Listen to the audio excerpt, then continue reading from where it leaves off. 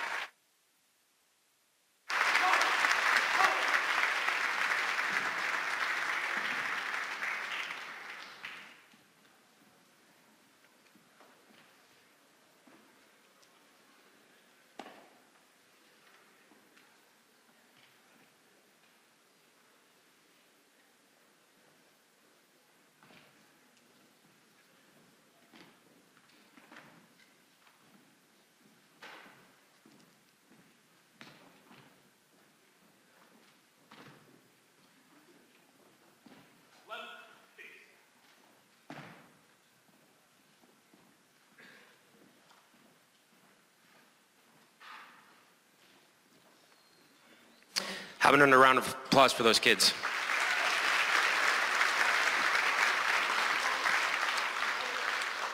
So it is my honor to introduce the moderators for this event, Fox 61's Jen Bernstein and the Hartford Courant's Chris Keating. Thank you very much. Enjoy tonight. Thank you, JR. Welcome, everyone. All right, we're going to start off by introducing the candidates and bringing them on stage. We do want to start right now with Stamford Chief Financial Officer Mike Handler.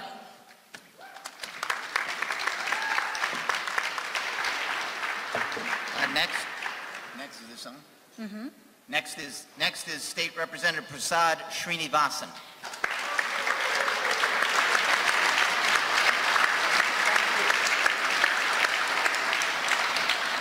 Former U.S. Comptroller General David Walker of Bridgeport.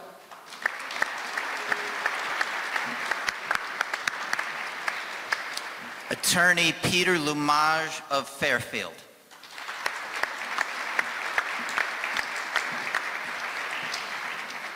Westport technology entrepreneur Steve Obsitnik.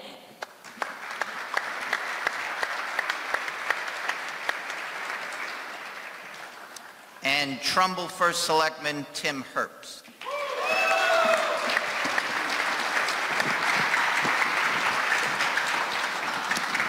Just a few rules to go over. If you guys could just, uh, moving forward, hold your applause, and so that we can get through the time frame, that would be great. Gentlemen, you have all read the rules, and uh, let's all have a great debate.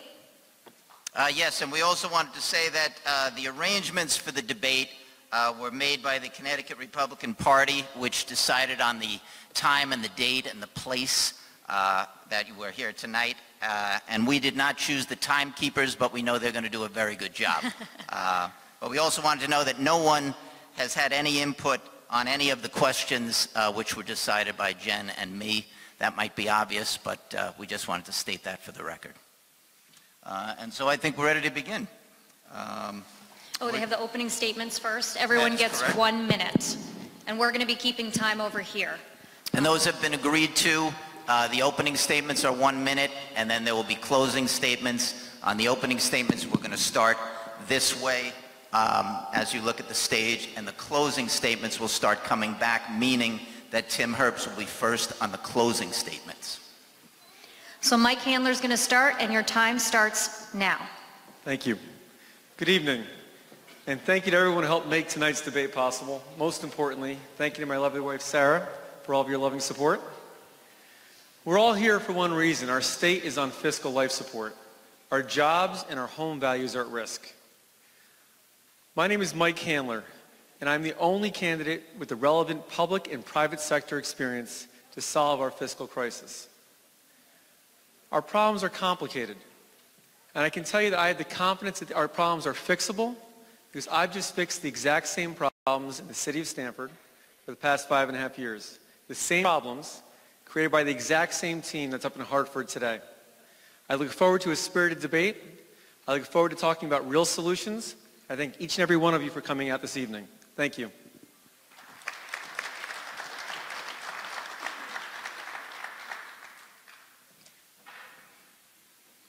Uh, Representative Srinivasan is next.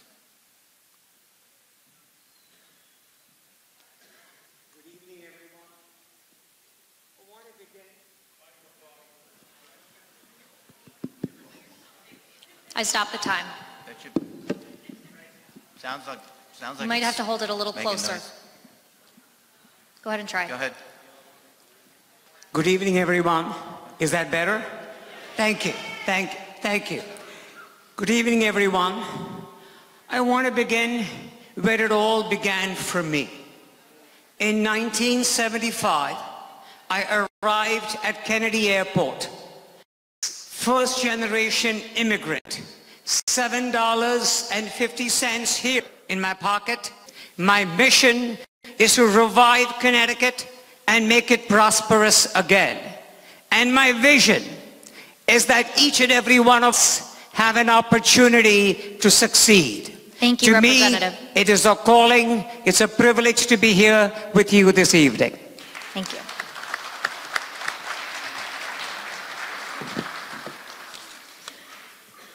Next up, we have former U.S. Comptroller General David Walker. Thank you very much to the sponsor of this evening and for all of you for showing up. Thank you for my wife, Mary, who got, we got married in college, for supporting me in this effort. I'm Dave Walker. I live in Bridgeport, Connecticut.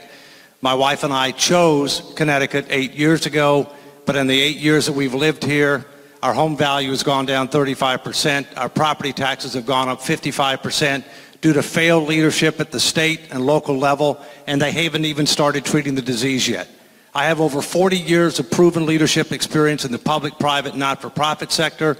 I'm a Reagan, Bush 41, and Clinton presidential appointee. I have made government organizations smaller, more economical, more efficient, more effective, more respected. I've done it before. I can do it again before it's too late. Thank you. Next is uh, Attorney Peter Lumaj of Fairfield. Well, good evening. I didn't even know that we had so many Republicans in our state, so thank you very much for being here. Um, I just want to introduce myself to you very briefly. My name is Peter Lumaj. Um, I, I want to thank my wife for being here tonight. Um, we have three teenagers at home, so I know the mess that we're going to find in when we go back home. But uh, I came to the United States about 29 years ago as a refugee. My brothers and I escaped communist Albania to search for freedom and opportunity. We found it here. We found it in the United States. We found it in the state of Connecticut. Eventually, after I came over here, I was able to go to college, went to law school, became an attorney. From a refugee who had nothing when he came to the United States, today I'm creating jobs for other Americans. The reason why I decided to run, I waited and waited for a while for a true Republican to get involved in this election. We have yet to see one. Be proud that you're Republicans. Stand by your principles. Fight for those principles because Peter Lumaj will promise you tonight. Thank I'm you, a true Peter. Republican. I'm a conservative and I'm proud of it. Thank you very much for being here. Next up, we have Westport Steve Obsitnik. Microphone, I think. Test? Yes, there we go. Oh, Time Oh, starts now. If the red light's on, you speak. Good evening, everyone. Since I graduated from Stamford High over 30 years ago, career politicians have taken us down a road to ruin. Fewer people, fewer jobs, zero economic growth, the loss of GE and Aetna. And what do we have in return? Mounting deficits and debts. My path will be different. I grew up in this state. I attended the U.S. Naval Academy. I came back to Windsor Locks to do my nuclear engineering training. I went down to sub school in Groton, and I spent a good portion of my life chasing Russian submarines under the polar ice cap. After that, I received a business degree from the Wharton Business School, and then went out to the Silicon Valley, and I was fortunate to have created hundreds of good, high-paying technical jobs. When you go home later and you pause your TV, you order a movie on demand, or you talk to that woman Siri on your iPhone, you're using technology I had a hand in creating. Why don't we have jobs like that in Connecticut? We have the people, infrastructure, and schools. We don't have the political leadership. I'm excited tonight to talk to you about how we restore fiscal security to Connecticut and how we create, once again, vibrant industry-led ecosystems to reinvent Connecticut. Thank you very much. Next is Tim Herbst of Trumbull. Good evening, Chris. Good evening, Jen. It's an honor to be here this evening. Um, good evening to all of you. Everywhere I travel in the state of Connecticut, people understand that we're in fiscal crisis, but they're also losing confidence in their state government. And they're losing confidence in their state government because for the last 40 years, one-party rule and Hartford insiders have placed the next election ahead of the next generation. We need to stop electing politicians that are focused on the next election, and we need to start electing a new generation of leadership that is focused on the next generation.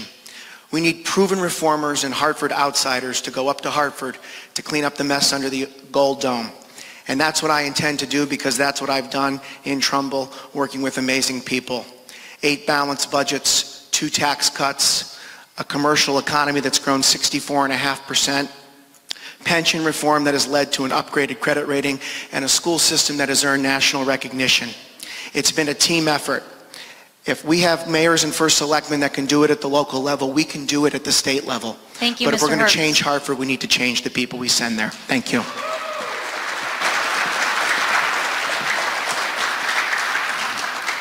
All right, we're ready to start our questions.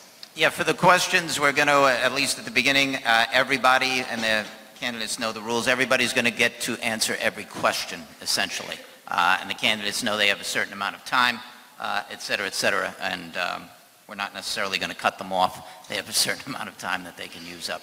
Um, So we're going to, we're to start, and we're going to go around this way. So the first question is going to go to Mr. Handler, uh, and it has to do with taxes. Um, uh, Candidate Bob Stefanowski uh, came out this week. He's not here tonight. He said that if he was elected, he would eliminate the state income tax over eight years. That has been promised in the past by other candidates, and it's never happened. Since the income tax raises $9 billion a year, do you favor eliminating the income tax? And tell us, if you do, tell us how that could be done.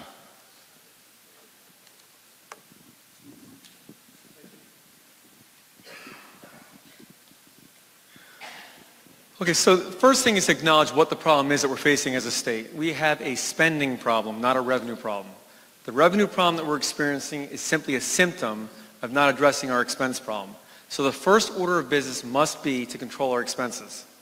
Let's talk about where the expenses lie. One third of our budget is fixed structural costs.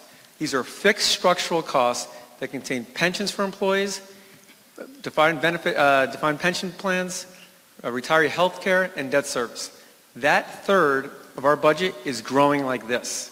The first order of business we must do before we talk about taxes and revenue is to bend that curve back down. I suspect we have more than enough revenue in our state to handle our budget if we can trim the expense side of our budget first. Anybody suggest to you that we can actually eliminate the income tax right up the top is not telling you the truth. It's $9.5 billion of our, of our state budget. In 1992, a year after the first income tax was put in place, we had a spending cap that passed with 80% referendum. but it was never implemented. As governor, I will follow the spending cap, a true spending cap, including debt service and all of our long-term obligations. We must control our costs. Thank you. Does anybody want to answer that question? We're going to go down the line? Start with Two candidates, one is an exploratory and one is in candidate for the Republican nomination, have called for eliminating the income tax. Look, I'm for low taxes, but that does not pass the straight face test. It is straight pandering. It is populism. We have to recognize reality that spending is the problem. Spending is out of control. We've already proved the Laffer curve, namely that when you raise taxes to a certain point, revenues actually go down. And that's where we are in Connecticut, and they're continuing to go down. So we've got to get control of spending. But the first thing we need to do is we need to keep businesses and we need to keep uh, high-income individuals from moving out of the state who disproportionately contribute to revenue, to jobs, and to philanthropy. And to do that, we have to eliminate the estate tax and the gift tax. We have to eliminate the 20% surcharge on corporation on corporations. We have to move away from the unitary tax system. And then we need, need to provide broader tax relief over time, but we can't do it until we dramatically restructure compensation and benefit programs, until we rationalize our welfare system, and only after that. You don't have to eliminate the income tax, but you have to lower the rates to where we are more attractive as compared to other states in this region. We can do that, but spending got to get under control. It's out of control. Go ahead.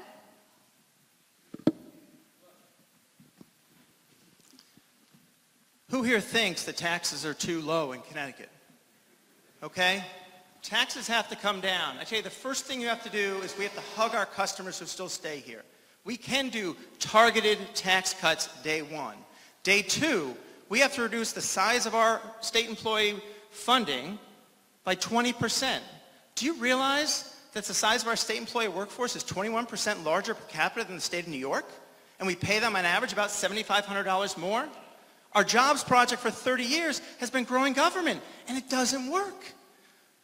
After we do that, then we can talk about across-the-board tax reform because it costs too much to live here, too much to build a business here, too much to retire here. And that's what I want to address for you all. Go ahead, Tim. Every person should be in favor of eliminating the income tax. However, people need to be honest about what it's going to take to get to that point. We have a massive unfunded liability problem in the state of Connecticut. We have the second most underfunded pension system in the nation. We have a $20 billion unfunded OPEB liability in this state, post-retirement benefits. And unfunded liability is code language for future tax increases. There's a reason why we were the last state in the nation to adopt a budget, and there's a reason why local school funding was decimated and programs that impact people were decimated because the unfunded liabilities are consuming more and more of our budget. We have to get our pension costs under control. We should not be giving out health care that is better than what members of Congress receive, and we know that because we have people in Congress that take the benefits from the state of Connecticut because they're more generous and rich. We need serious, comprehensive pension reform like other states have pursued. And once we get our unfunded liabilities under control, then we can talk about reducing the income tax, eliminating the estate tax, which I agree with, reducing the corporate rates to show businesses we aren't crazy here, eliminating the social security tax, doing the kinds of targeted tax relief that's necessary to give people in Connecticut who need the relief most the relief that they require. But that is not going to happen until we stop telling people what they want to hear and start telling people what they need to hear by getting these unfunded liabilities under control. We have to stop saying what's politically correct. We need to start telling it like it is. Thank you. Um, I'm not going to tell you what the problem is because every one of you knows what the problem is with our state. It is the career politicians, professional politicians, who have taken you and I into this mess. And I don't think we should trust them again. We trusted them once, twice, and they created the mess that we're in. Here's the solution. It's very simple. I think we have to spur growth. Without spurring growth, we're not going to be able to get out of this mess. Lower the taxes. Start by repealing state income tax for any family who's reporting less than $100,000 a year. They shouldn't pay any state income tax immediately. Lower the sales tax, lower corporate taxes. We don't have problems with revenue in our state. We have problems with spending. What Hartford has done has to be dismantled. The mentality in Hartford is all about taxes. Can we have more money? From 1992 to present, when we passed the state income tax, our state has collected $192 billion from you and I. Yet we are $62 billion in debt. The question is, where did the money go? They spend it, career politicians, with their pet projects and rent seeking. The mentality in Hartford has to be dismantled. You need a conservative who is fearless, who has the character and the fortitude to go there, not as a politician, as a complete outsider and get the job done. And I promise you that I'm going to be one of them. Thank you. Go ahead.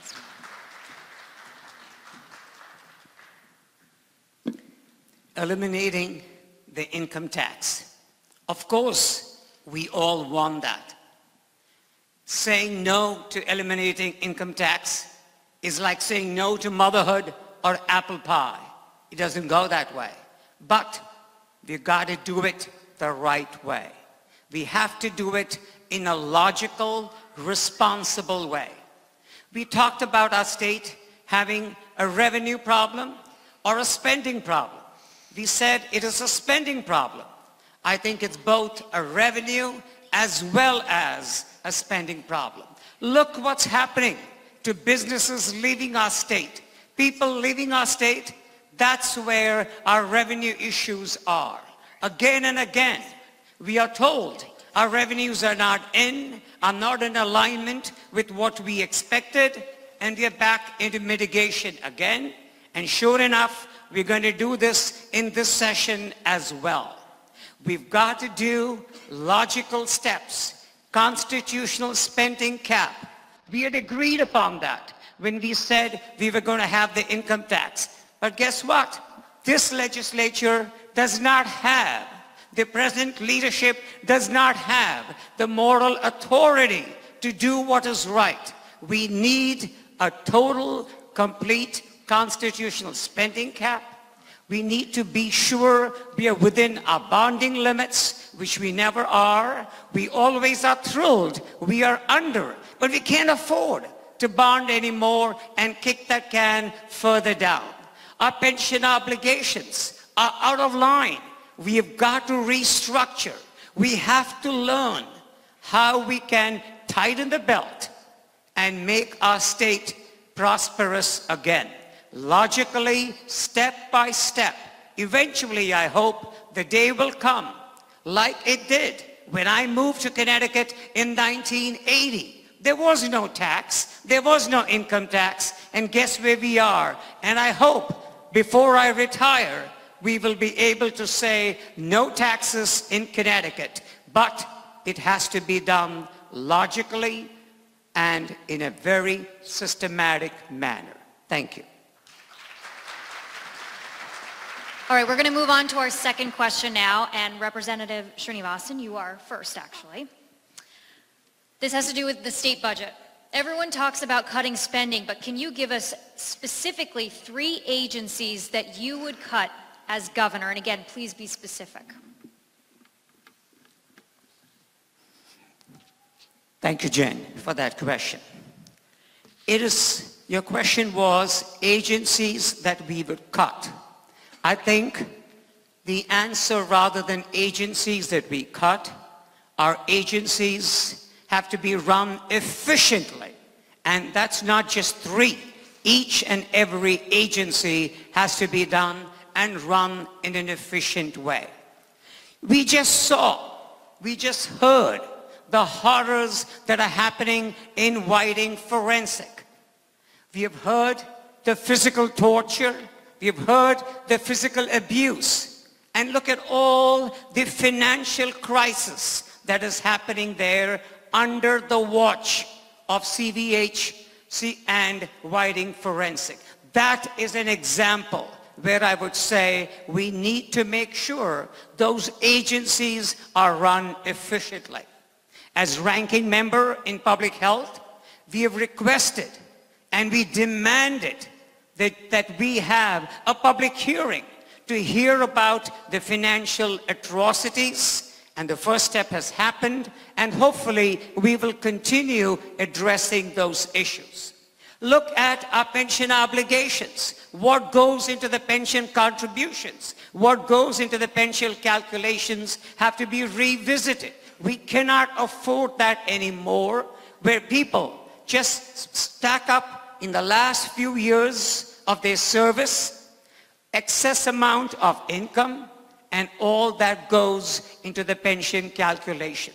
One of the things I would definitely look into as a governor is capping the pension benefits. I've heard again and again individuals who make in the ballpark of about $60,000 to $80,000 on an annual basis. They take-home pay at the end of the day with overtime, mandated overtime, is a quarter million dollars. And that quarter million dollars goes into the pension calculations. So the inefficiencies that we have rampant, agency after agency after agency, is what I would go after, not just three, but each and every one of them. Thank you. Why don't we go, I just want to make sure, let's go in order. Next person over. Yep, go ahead. Thank you. It's not just a matter of which agencies you cut.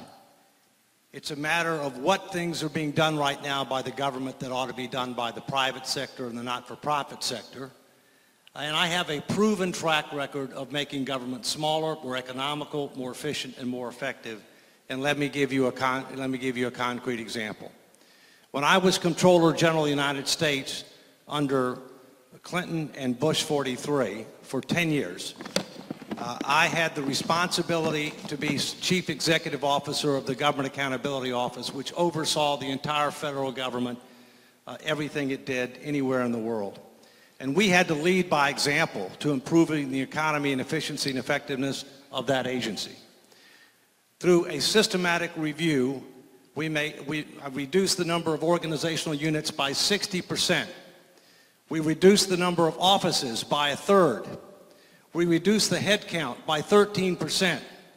We increased productivity 50 to 100%. We increased uh, return on investment for the American taxpayers. We tripled it. For every dollar the American taxpayer invested in us, we returned 110. During the 10 years that I was Comptroller General of the United States, we saved the American taxpayers $300 billion plus. The process that I employed to do that is directly transferable and scalable to the state of Connecticut. It's grown too big, promised too much, needs to restructure. Career politicians got us where we are. They're not going to lead us to the promised land. And that people that do not have direct, significant government transformation and restructuring experience, and that's not reform, that's lightweight little league. I'm talking about serious government transformation reform experience will not save our sinking ship of state. The USS Connecticut is sinking. This may be our last chance to create a better future. Thank you. Mr. Lumaj? Um, um, the question is, can we downsize the state agencies or which one of them we're going to get uh, rid of? Every state agency should be audited and each and every one of them should be downsized 14%. Every elected official, staff, and the amount of money that they get for the budget is going to be cut 10%. That will save you and I $1.3 billion a year. Just think about that. They have too much money in Hartford. Money is not a problem over there. It is spending, the scope and reach of government. It is the problem. And I'll promise you I'll reverse that. Thank you.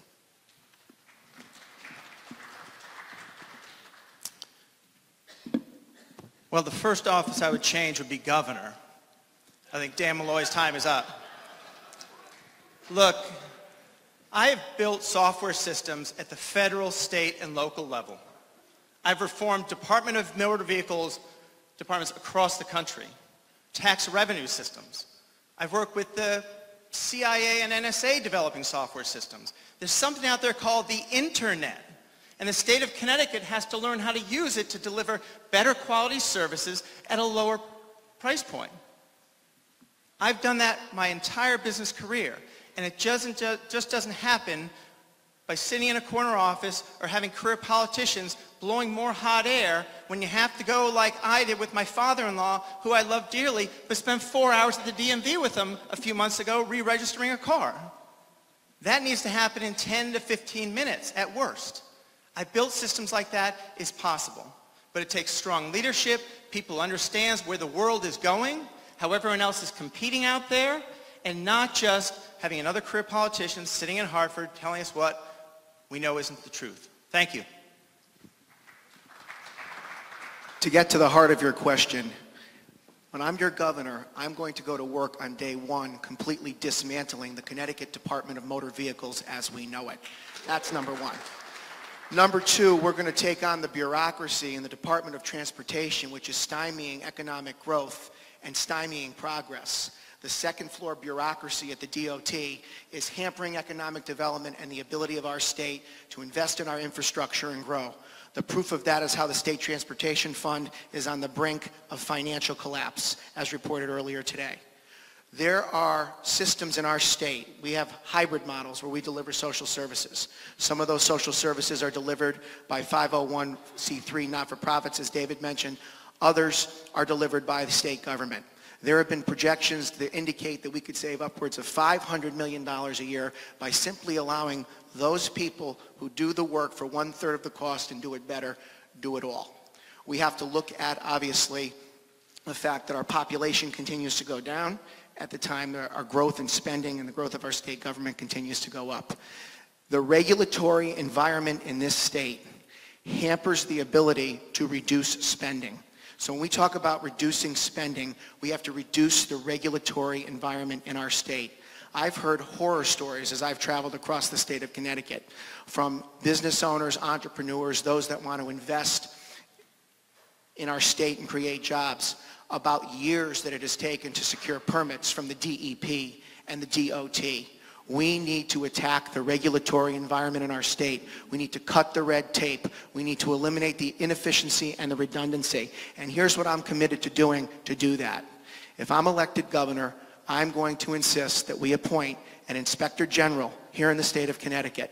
And that person is going to be charged with rooting out waste, fraud, and abuse in every sector of our government, in every agency within our government, in every branch in our government, not just the executive branch the judicial branch and the legislative branch. And as Prasad mentioned, we have got to get the cost of our pensions and health care under control because when you look at the state budget over the last seven years and you look at the percent of the budget that's dedicated to higher education, K-12 education, infrastructure, Medicaid, you look at all those sections of the budget, as a percent of our total budget, they've declined over the last seven or eight years as the unfunded liabilities continue to grow more and more. That's what it's going to take to fix this. I'm proud that in Trumbull, the employee headcount is lower now than I, when I took office eight years ago. It is at a 15-year low, and we did that by transforming government but improving services. That's what we can do for Connecticut. We can transform government, make it smaller, make it smarter, and improve the services that directly impact the lives of people. But it's not going to happen if we send the same people back to Hartford to sit in different chairs. We need proven reformers and Hartford outsiders that are going to tell it like it is to get the job done.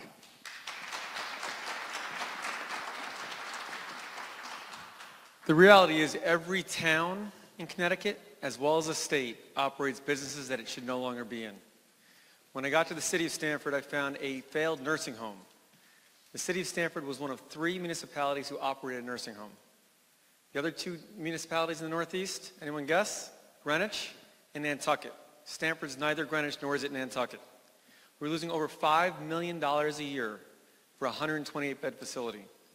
I spent two years privatizing the nursing home, and today it is a thriving home to 128 residents with a waiting list to get in.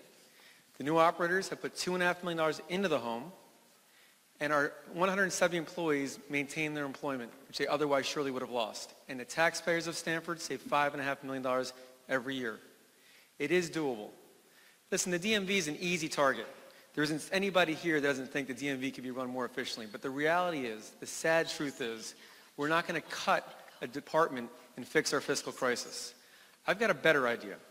Why don't we get out of the pension business once and for all? Why don't we make our public sector benefits look like all of yours in the private sector? Why don't we take our pensions and cash them out into defined contribution 401k plans right now? Why don't we take our health plans and make them look more like all of yours? High deductible health plans with health savings accounts. The reason why the Smith House, the nursing home in Stamford, was losing so much money, because we were paying salaries and benefits that were 55% above the same job in the city of Stamford.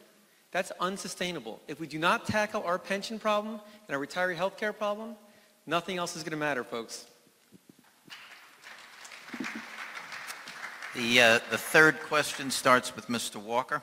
Um, there's been a lot of publicity over the last year, basically, um, surrounding the departure of General Electric to Boston and uh, Aetna to New York City, even though that might change now that they're being purchased by CVS.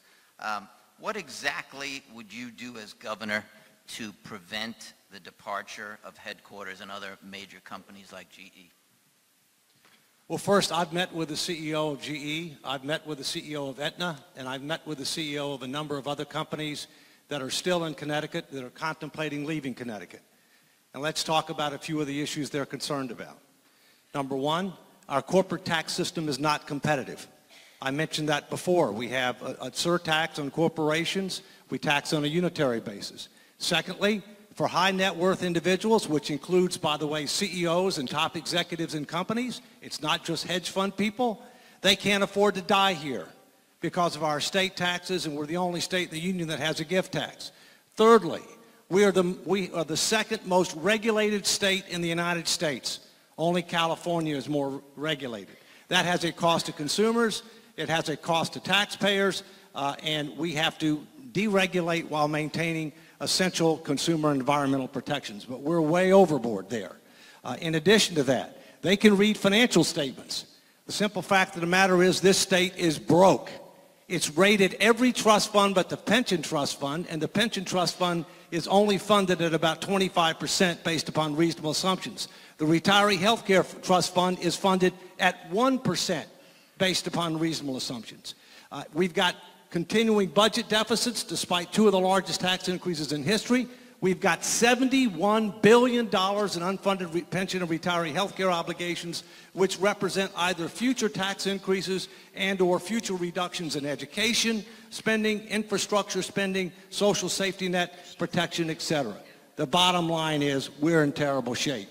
And as a result, what we have to do, first, we have to make steps to try to keep businesses and corporations here. We need a business-friendly state. We need a partnership between government and business. You can't be anti-business and be pro-job. Businesses create the jobs. The governor can do that, but most of the things that have to be done when you're talking about tax reform, compensation and benefits reform, welfare reform, infrastructure investment, they take legislation. If you don't have the right governor, you're going nowhere. But it's not just the governor. You need a majority of the legislature both the Senate and the House, that will support an issue-based, action-oriented agenda to turn around this state. I've got this flag on upside down. What does that mean? Connecticut is in distress. We need to recognize that reality. We're sinking. We need to tell the truth, make tough choices, show the way forward to make a turnaround happen and create a better future in this state. Anybody Mr. down the? Lumaj, we'll, we'll keep going this way. Mr. Lumaj, if you want to go next. Response or a question? Same question. Uh, the same. Uh, in order for us to keep businesses here and to entice other businesses to come here, you're going to have to start with the tax code, which has to be reformed completely. In addition to the tax code, the regulations that are passing, any state agency that passes a regulation should be required to repeal four. That is one of the ways to do it. Mandates that are coming from the state, they are going to have to be repealed, a number of them. Instead of creating an environment for people to invest in our state, we're doing the opposite. We're forcing them to leave. One of the, the, the ways to keep that business in our state, and it was in Fairfield where I live actually, and we lost a ton of jobs when they, when they left. It would have been for someone from Hartford to sit down and talk to them. It's interesting when you hear elected officials on stage tonight, and some of them being um, long lifetime bureaucrats, tell you that everything that they touched with their hand somehow is a success. If that is the case, how come our state is in such a mess? Each and every one of them is telling you a success story. I worked with this guy. I was elected here. I didn't raise taxes. Yet, the state is a mess. If that is the case, that each and every, uh, each and every one of them succeeded, who got us into this mess? Trust me, it's them. And I don't mean that personally them. I mean elected officials, career politicians, people that we send them for way too long in Hartford and they lost touch with you and I. That's why I think we should have some term limit for these people. Thank you.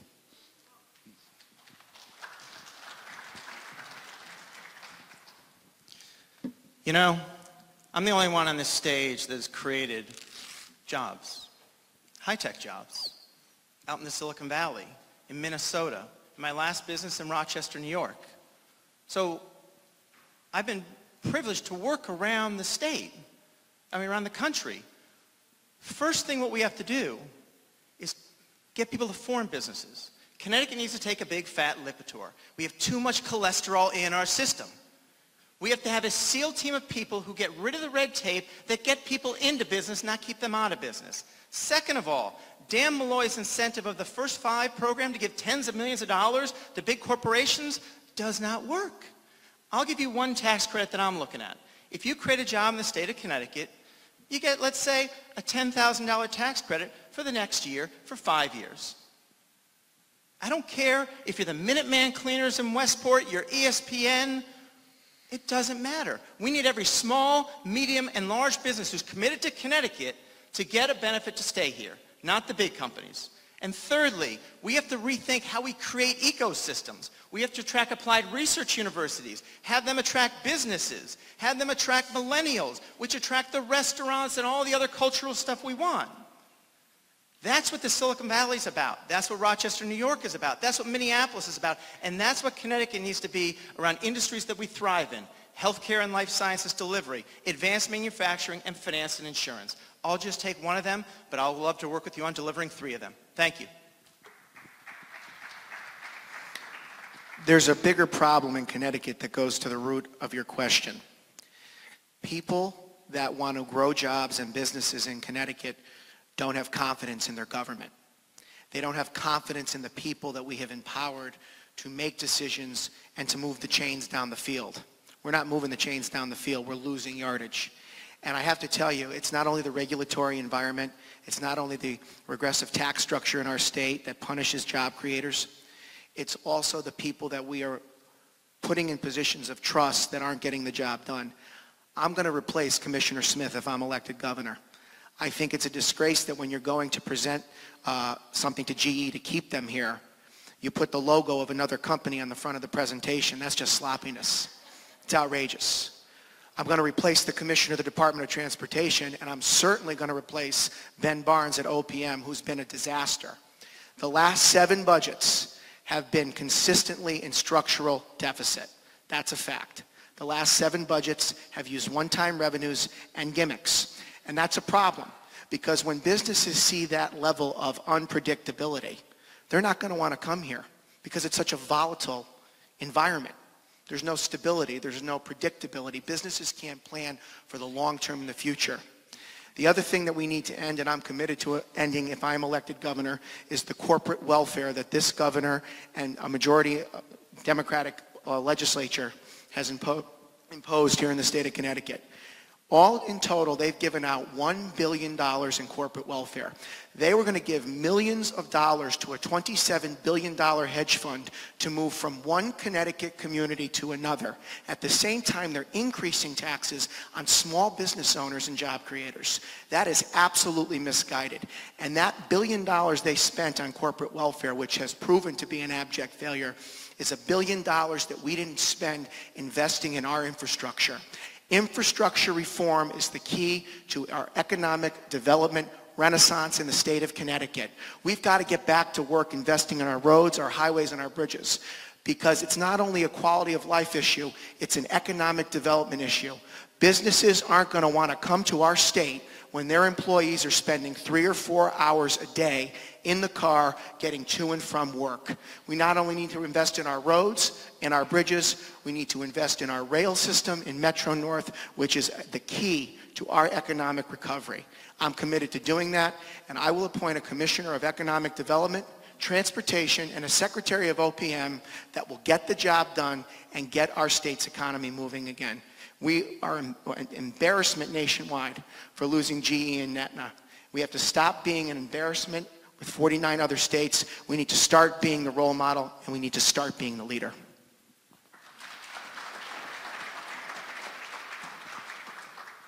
GE leaving was a wake-up call, but it should not have been a surprise to anybody. Our state has been closed for business for a long time. You can't be closed to business and try to throw money at a couple select companies hoping you'll pick the winners, particularly when you're not very good at picking the winners. GE, Aetna, Alexion, Starwood, UBS, RBS, we're not very good at picking the winners. There's an embedded opportunity for companies located in lower tax states to take advantage of companies located within the state of Connecticut and that is synergies. A company that lives or operates out of a low tax environment has an embedded synergy when they acquire a company within Connecticut that has a high tax rate. So not, we shouldn't be surprised that CVS is buying Aetna. We shouldn't be surprised that Marriott bought Starwood. But we need to stop being closed for business.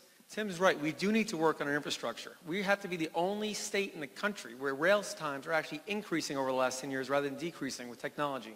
How is that possible? Why are companies not coming to Connecticut or growing their businesses? Think about yourselves. When you go to buy a home, what do you need to make that decision, the biggest decision of your life? You need job security. You know what your mortgage payments are going to be. And the biggest determining factor in the variability of your mortgage payment is your property taxes right now. Without those two decisions, you can't make that big commitment. Companies come here for a lifetime. They need predictability. They don't plan for one year. They don't plan for a budget cycle. They don't plan for an election cycle. They come here for a long time. They leave their jobs, their homes where they are. They leave their schools, pull their kids out of schools. They sell their homes, and they come and plant you know, in Connecticut for 30 years, buy homes, put their kids into schools. They do not know what the next couple years' taxes are going to look like. Why? Because we have a spending problem that is out of control. If we do not control our long-term costs, nothing else is going to matter. Here's the good news. Connecticut is a beautiful state. We've got everything going for us. We're not challenged geographically. We're not challenged climately. We don't have tornadoes in Connecticut. We've got a lot of good things going for us, a lot of talented, hardworking people. We've got to lower the cost of doing business, take a look at the 15,000 pages of regulations that we have that are taxing and feeing and fining our small businesses out of existence, and start being open for business again. Then you'll see companies coming back to Connecticut and job growth for all of you. Thank you.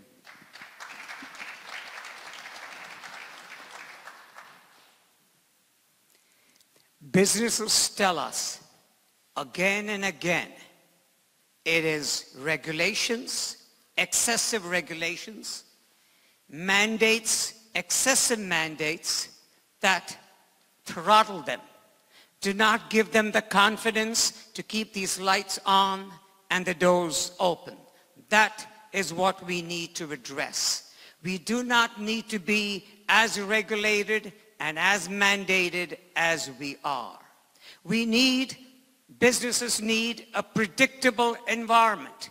They need to know what's going to come down the pike, not just today and tomorrow, but for the next six months or the next year.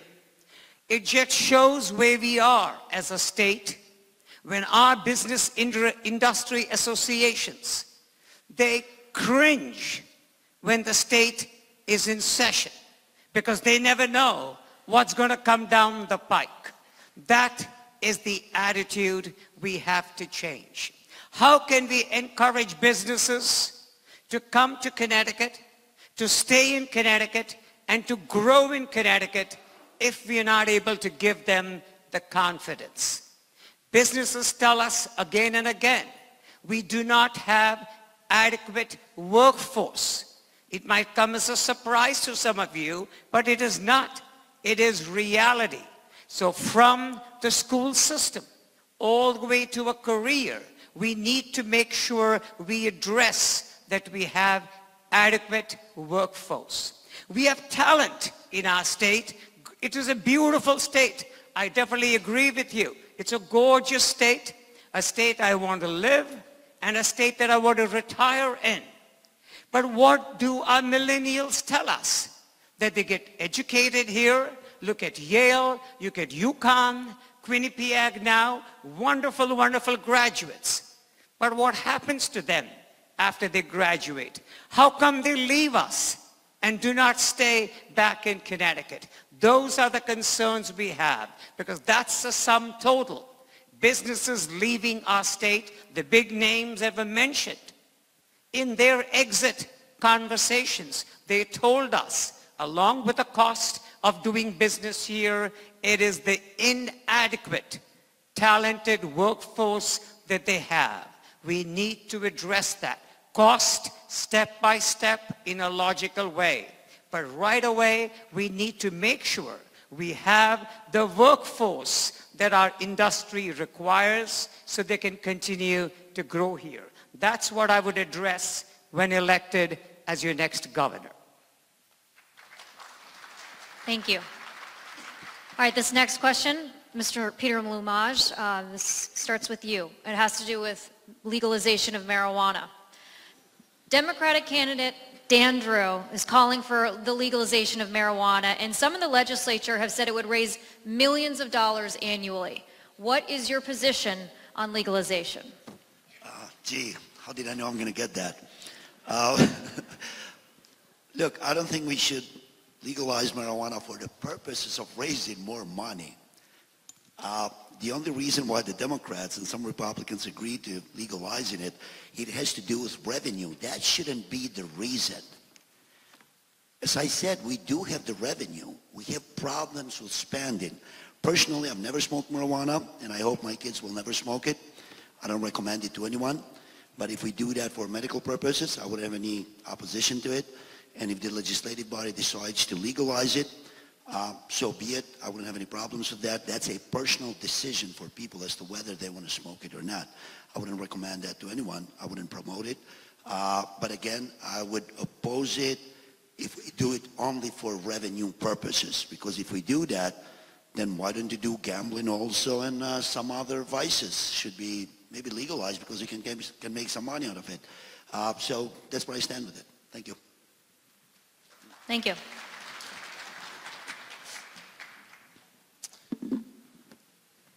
I went to the U.S. Naval Academy and served in the Navy for five years, so I can't say I was a big user of marijuana. Um, I actually have never used it. However, I have some really good friends who came back scarred from Afghanistan and Iraq. And medical marijuana, they've opened my eyes to how that's alleviated a lot of the post-traumatic stress that they deal with every day. And medical marijuana in Connecticut's legal. There are 20,000 registered users and I think 700 physicians who subscribe. But I think we have to break this into two discussions. People have said it's a revenue generator, but I've heard from the OFA it's about $50 million a year. I actually think there are other ways this state can go about creating other revenue streams that actually retain people here in Connecticut. So I don't think the argument's an economic argument. I think the argument or the discussion is around what culture do we want in our state? And I'm an evidence-based person. I'm a nuclear engineer. I used to split atoms for a living. So I'm open to the dialogue and discussion. I'm not going to kid around. It's not my Monday morning activity. My, my Monday morning activity is how do we turn the moving vans around? How do we lower the cost of living? How do we fight for your heart and soul to stay in Connecticut as opposed to one of the kids who takes care of my daughter, she's a teacher. And she's saying with the tax on teachers going up, why don't I go to Nashville? That's the person we have to fight for the heart and soul around. But thank you for your time. You know, when I look at the craziness that's going on up in Hartford, I sometimes think that we have a lot of decision makers who are perhaps using a little too much of the product. Um, but, but, let me just say, let, let me just say, um, I personally have a problem with it. Uh, but I think that we should look at what other states in New England have done. Uh, Governor Baker personally opposed to it, put it on the ballot, let the voters decide. I think that's something that the state is going to have to discuss. But the bigger concern that I have is twofold. When we start talking about legalizing marijuana, implementing tolls, adding additional casinos to our state as a crutch to balance our budget, we have really misaligned priorities because we're talking about revenue enhancements rather than talking about the need to cut spending. And that I have a real problem with. Here's the second problem I have with this discussion about marijuana. And as you know, I disagree with Mayor Drew on an awful lot. Uh, my problem is at, the, at a time when they're talking about legalizing marijuana, we have an opioid crisis in our state of significant proportion. New England especially has been adversely harmed by this opioid epidemic. I have attended too many wakes and funerals as the chief executive of Trumbull that have been caused by a drug overdose, and I've seen up close what it's done to victims, what it's done to families. And here's my commitment. We're not going to have a conversation about legalizing marijuana unless and until this state government comes up with a comprehensive plan to attack this opioid epidemic in our state. We need to give law enforcement the tools that they require to do their job. We need to do what Governors Sununu and Hogan of New Hampshire and Maryland have done in declaring a state of emergency with respect to this opioid epidemic. We need to help local school districts and local police take this problem on. We need to hold doctors accountable that overprescribe. And most importantly, we need to hold the pharmaceutical industry accountable for the representations they make with respect to opioids. It's a crisis. It's a problem. We need to take care of our people and deal with this problem before we start talking about legalizing marijuana. And that should be the priority. Anybody who is suggesting that we legalize marijuana has not looked at the long-term effects and how it affects states in particular. Um, I'm also concerned about children. When we're talking about legalizing the recreational use of marijuana, I'm concerned about the impact it will have on our children. Um, I believe we should look at the data, and I suggest the data more than likely is going to suggest that marijuana use does not increase IQs in young people. Um, I do agree with Tim. Um, having served as an EMT for over 20 years, um, I've seen firsthand what happens um, to a community when opiate abuse is rampant. And I do agree that it is an epidemic right now. And we've got to take swift, bold action. And that action has got to include holding doctors accountable for prescribing the appropriate dosages and amounts of medication to patients. It also includes educating and penalizing doctors who do not follow the prescribed dosages and prescribe too much of the medication. We also have to work on one major factor. We must remove the stigma associated with any addiction. Too often people are suffering in silence and that's unacceptable. As your governor, I will put in place immediate action, actionable items that we can actually stop our insanity in our communities where this overdose uh, is creating an epidemic. We are losing, anybody know, we've lost more American lives in the last 12 months to opiate overdoses than we have during the entire Vietnam War. That's where we should be spending our time and energy, not on legalizing marijuana at this time. Thank you.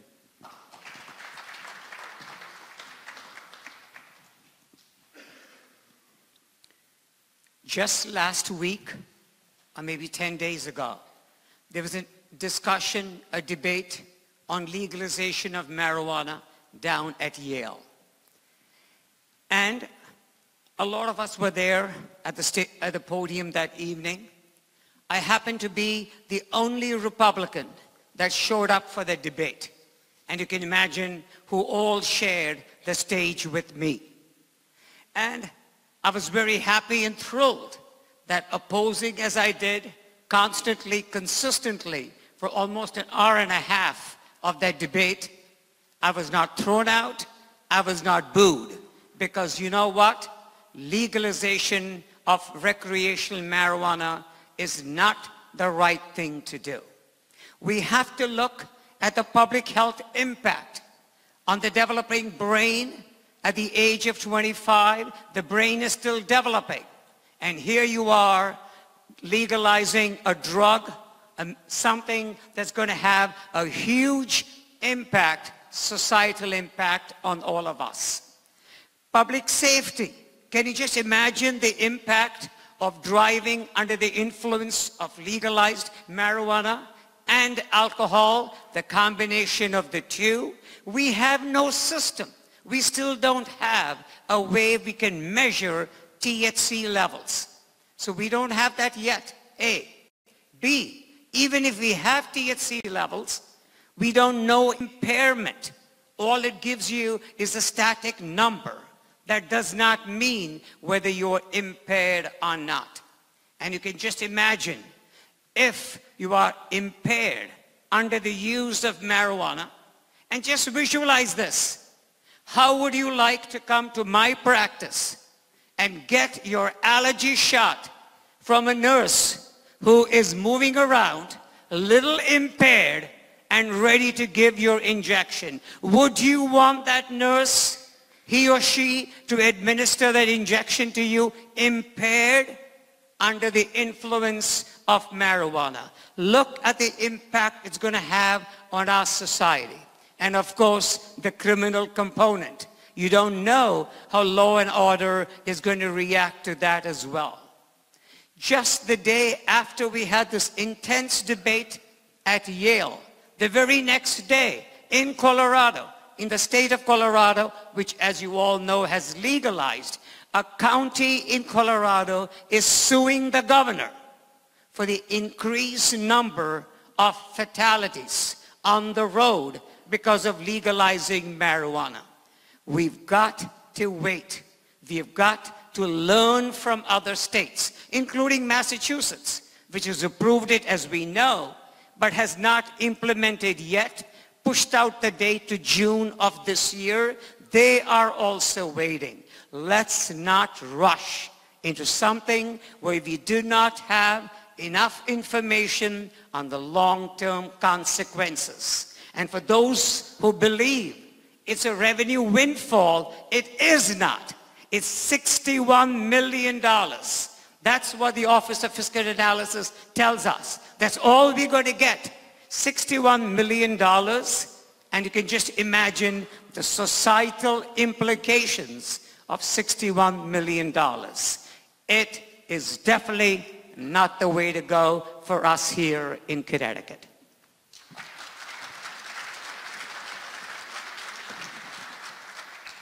For the record, I do not and have not used marijuana. Didn't even put it up to the mouth, so it wasn't an issue of inhaling. All right? Uh, look, let, let's, I'm shocked by how many times I get questions about marijuana. Our state's in terrible shape. We're bottom five in financial condition, bottom five in competitive posture, one of the few states in the union that actually have a declining population.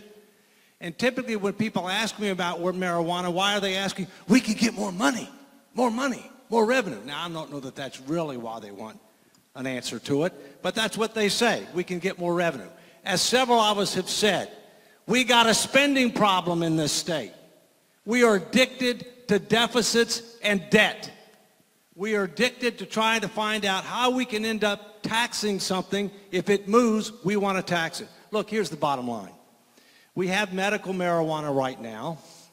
My understanding with talking with professionals is our definition of the application of medical marijuana is narrower than it should be.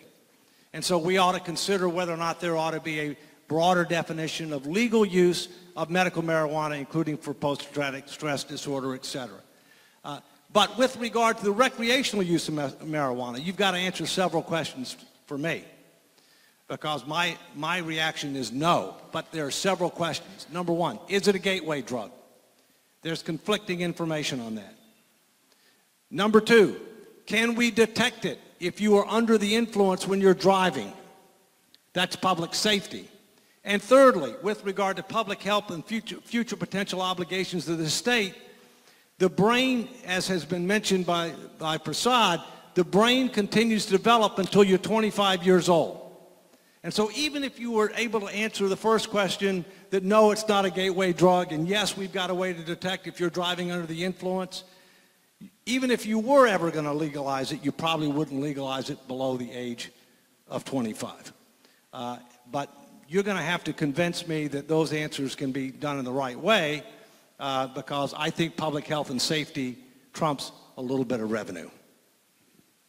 Thank you. All right, everyone, we are going to take a five-minute break, and we will resume the debate soon, 7.15. All right.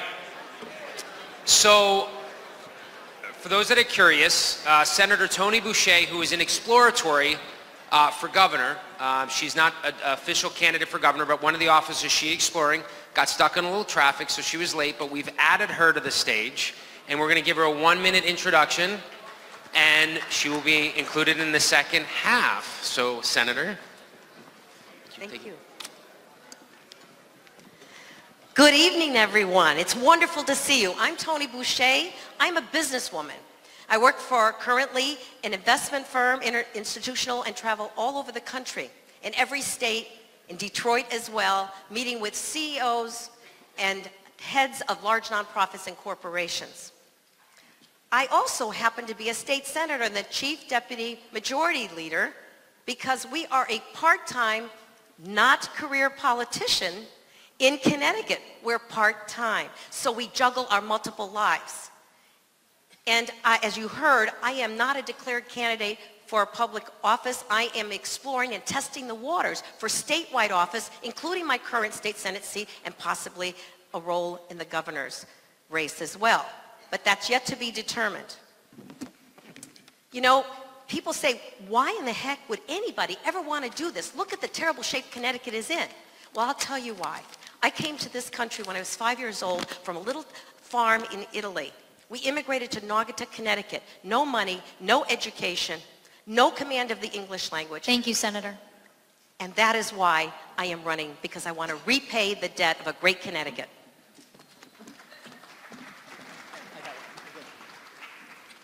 Uh, we're going to continue with the questioning here. Um, and in our order, it, uh, we're starting with Mr. Obsitnik uh, for this. Uh, this is regarding casinos. Uh, the battle over casino expansion in Connecticut is ongoing. Uh, now MGM is interested in building a casino in Bridgeport, as you know. Uh, should Connecticut expand gambling to other entities besides the state's two federally recognized tribes? Well, thank you for the question. I don't believe that the state of Connecticut should be spending its money, like that First Five program, to lure casinos here.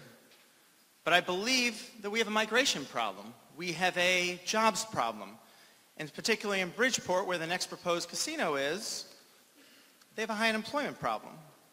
I think if a large corporation wants to come invest in Connecticut and bring their money and employ people, it's their right to do it. And we need to do that beyond just industries there. We need to look at how we're going to compete in the 21st century again. Life sciences and healthcare delivery. We have an aging population. We have a healthcare system which costs too much. We need to revolutionize how we deliver healthcare to people. Better quality of services at a lower price point. We need to look at and hug the largest helicopter maker, submarine maker, and jet engine maker in the world and create an ecosystem around them and attract jobs like that. And finance and insurance still remain probably the largest sec sector of our own state GDP. All of these industries haven't moved out yet. And we've got to hug those industries and get anyone who wants to invest here in Connecticut and help it make it easier to do business in Connecticut. So that's my philosophy and what we need to do. Thank you. Just going to go I'll- in order first. I'll keep it very brief. Um, I am not in favor of any casino expansion that compromises existing casino jobs in other parts of the state. And I do not think we can have a conversation about a casino in Bridgeport unless it includes a conversation of how we're going to address traffic congestion in southwestern Connecticut, which was a big reason why the casino proposal in 94 did not go forward. Senator Boucher. I've never been that supportive of casino expansion in Connecticut, but Bridgeport does deserve to really decide on their own which way they want to go with this. We already have $345 million that we get from the casinos currently. I don't know how well we spend that money. Quite frankly, I've listened to the conversations previously, and I agree that what we need to do is really encourage and expand the business sector. We cannot spend our way down. We need to grow our way up in Connecticut. We need to expand the tax base with lower taxes instead of in- decreasing the tax base by increasing taxes as we have it. So the bottom line is we really need to take a look at tax policy. For me, that is what drives the state economy. That is what drives businesses in and out. You asked the question previously about GE and others. It's not just GE. I have florist shops these days that say they don't compete with other florists in Connecticut anymore. They're competing with the governor and with this administration to taking money out of people's pockets that they would spend there. What we really need to do is reduce the costs for all businesses, not specific industries. We don't need to increase pot use in the state to get more revenues or taxes that in fact would increase our social services costs by exponential. The bottom line is we have to make it less expensive for all businesses, including payroll taxes, including their tax structure, including the regulations that they are spending on. This is what they tell me that they want. We don't have to increase the expansion of casinos if we really reduce the cost for all businesses in the state. You know, the governor likes to tout the, the, the, the, the special five program, the top five, and he's going to give them money to keep them here because it costs too much to stay. So he literally has to bribe these companies to stay, and they're not staying. They'd rather forego the big tax incentives, right? And just get out of the state of Connecticut and go somewhere where it's a lot less expensive to do their business. So the bottom line is we need to take a look at the entire tax policy. You know, all of these gentlemen here all have great ideas. They're good people. We could finish each other's sentences. In fact, we all agree on most of this. But the bottom line at the end of the day, we better take a look at who's exploring or who's a candidate for statewide office that can win in Connecticut. The only way we're going to change this if we can win those offices and change the leadership that is in this state. There's probably only a, one of us that has proven that they can win as I've won the most votes of any state senator in the entire state of Connecticut, two elections in the row, primarily by the crossover vote. And at the end of the day, all good plans fall on deaf ears if we can't win. And the public is looking for a different kind of candidate, a candidate that's lived the two lives of Connecticut, the urban poor life, the affluent part of Connecticut, that's been there, that's been an immigrant, that had to fight their way up out of poverty through education, hard work, and industry in order to make it go and work well and attain the American dream. That resonates in our inner cities, which we have to win over, at least to some degree. They need someone that's been a business person, created jobs. I've created jobs like the rest of them for GE, for Weston, for the small businesses I've started that understands how business works. Did you know that I've had to actually debate in the finance committee that profit is a good thing? When elected representatives don't believe or understand that profit is what makes a business grow and what adds jobs, we've got a serious problem up in Hartford. We really, really do. So knowing how businesses run and having been a local Board of Ed um, chairman, having been a um, Board of Selectmen member, negotiating union contracts in each of these areas, State Board of Ed, state representative for 12 years, and now in the state senate, all the while working in business, traveling around the country. We have to have someone that understands both. And at the end of the day, through all of this, we need someone that can prove that they can win. So that's going to be the determination when I make a decision to continue this exploratory and finally decide which way to go. And that's something that we should all consider because as I said, these are all good people with great ideas. We all agree on what those plans should be, all of them. But at the end of the day, we have to win. Um, it looks like tonight everybody who's running for governor, or looking into running for governor, is either refugee or immigrant. Um, you know, it's interesting. And this is the Republican Party, which is great because we're always accused of not being inclusive enough. But I want to share uh, a uh, story with you. On the election night in 2016, I stood up with my wife watching the results until late. And at about 3 o'clock in the morning, I got a call from Governor Malloy. And he says, Peter Lumaj, it looks like Donald Trump just won. I said, well, it looks it like it did. He says, well, I'm as happy as you are. And I said, why would you be happy? You're a Democrat, you're a liberal. He says, because I hope he's going to deport you. Um, I don't think he's going to do that. Um, I'm here, I haven't been deported, but um, it's interesting when I hear these professional politicians again, never taking a blame for the failures in our state. And that is a concern that you and I should have. They have been in Hartford for too long. When we passed the budget, and was supposed to be bipartisan budget, the Republicans had Democrats convinced to vote for their own budget, the Republican budget. A couple of months later, instead of convincing more Democrats to move to the right and agree with us, the weak-kneed Republicans agreed with the Democrats and they gave us what they gave us. It's time that we have some common sense, conservative solutions in Hartford. A professional politician, a career politician is not going to do that. They would never harm themselves. You need outsiders.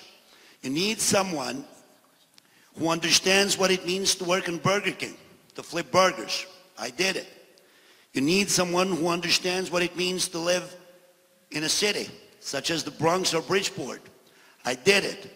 When my family and I came over here, we were taken in by a Protestant church who helped us learn English and get ourselves up and running. I was able to go to college eventually, and I did it on my own. I was able to go to law school, and I did it on my own. I have a small business, and I do understand what small businesses are going through, because I'm one of them. I get up at 5 o'clock in the morning every single day to go to New York where I practice law. And by 2.30, 3 o'clock in the afternoon, I come back over here to talk to you and others. You're going to make a significant decision in May 2018, and that is nominating the next governor of the state. Exercise that power very carefully because someone, three kinds of candidates are going to come in front of you. Some people who have been in Hartford for way too long, and I call them career politicians. Some people who have so much money that they don't know what to do with it, and they said, well, let me just run for governor. And you'll have the outsiders, such as me, who want to get the job done. And I hope that that trust that is going to be placed upon you when you go to the convention is going to be exercised properly. Because as Republicans, we've been losing elections for the past three terms. The reason why we lose, we're afraid to be Republicans, we're afraid to be conservatives, we're afraid to be constitutionalists, we're afraid to be what made this nation great. And that shouldn't be the case. I had a chance. Please hold your applause. And Mr. Lumaj, just keep in mind that the question is about casinos. I had a chance. Casinos are not going to produce the results that we need to get the state out of this mess. We need constitutionalism. We need conservatism. We need dedication. We need the backbone. And we need to sacrifice something for the sake of this state. By taxing you more and by bringing these vices into our state, we're not going to get out of this mess. So let's start reforming what we have over here, the tax code, the regulations, the mandates, and make sure that we go to Hartford and clean that place up because it's due to do it. Republicans have a chance to take this in 2018. It is ours to lose it, and we're going to win it unless we do what we did in 2014 and the prior years. Thank you. All right, and, and guys, hold on one second. We're going to try to go in order. I know he jumped up, but we're going to... Oh, yes, go ahead. Sorry, I missed that. He has 20 seconds to rebuttal. Thank you. I want to make sure that's on my rebuttal. Yes. It was just mentioned that in the latest budget, the Democrats and the Republicans came together and voted on that budget. I want to make sure we all are clear on what budget we are talking about. There was a, bu- there was a budget that we passed, the Republicans passed, that was vetoed by the governor. And then there was a budget that was passed, which was, quote unquote, a bipartisan budget, and I did not support that budget. I did not vote for the budget because I know that is not the right direction for our state to go. I want to Time. make I- sure we clear that. I get 20 seconds. He mentioned my name. I get the He did mention your I get 20 seconds, yes. If he mentioned my name. The truth is that he's voted more with the Democrats, with the Republicans. Check his record. The only time that he voted against the budget It was when he decided to run for governor. And that was a calculated move. And you and I should be tired of calculated moves that these politicians are making, hurting you and I. That was the only time he voted against the budget. And that shouldn't be the case. If I were there, I would have voted against it. Uh, back to casinos here. We're Mr. continuing Hanlon. with casinos, which is One where more we time, the started. question? Sure. You want the question again? It's been so long. Here's the question again. It was actually even before the break. Only kidding. The battle, here's the question. The battle over casino. I'm just kidding. I got it. I got it. All right, you got it? Okay. You're good. We're okay. Moving forward. How about this for a novel concept? I'm in favor of the free market. But here's the catch. We've got a small problem. We are in the casino business. Through failed policy, we are hooked on revenue from casinos right now. How about we get ourselves unhooked from casino revenues? Let's lower our costs. Let's take our budget and actually reduce our structural costs and stop being dependent on one-time revenue streams that are at risk when neighboring states build casinos. I have no problem with the casino. I think Bridgeport has every right, without state assistance, to have a private business build a casino, but I would like to see the state of Connecticut out of that business as fast as possible. Thank you.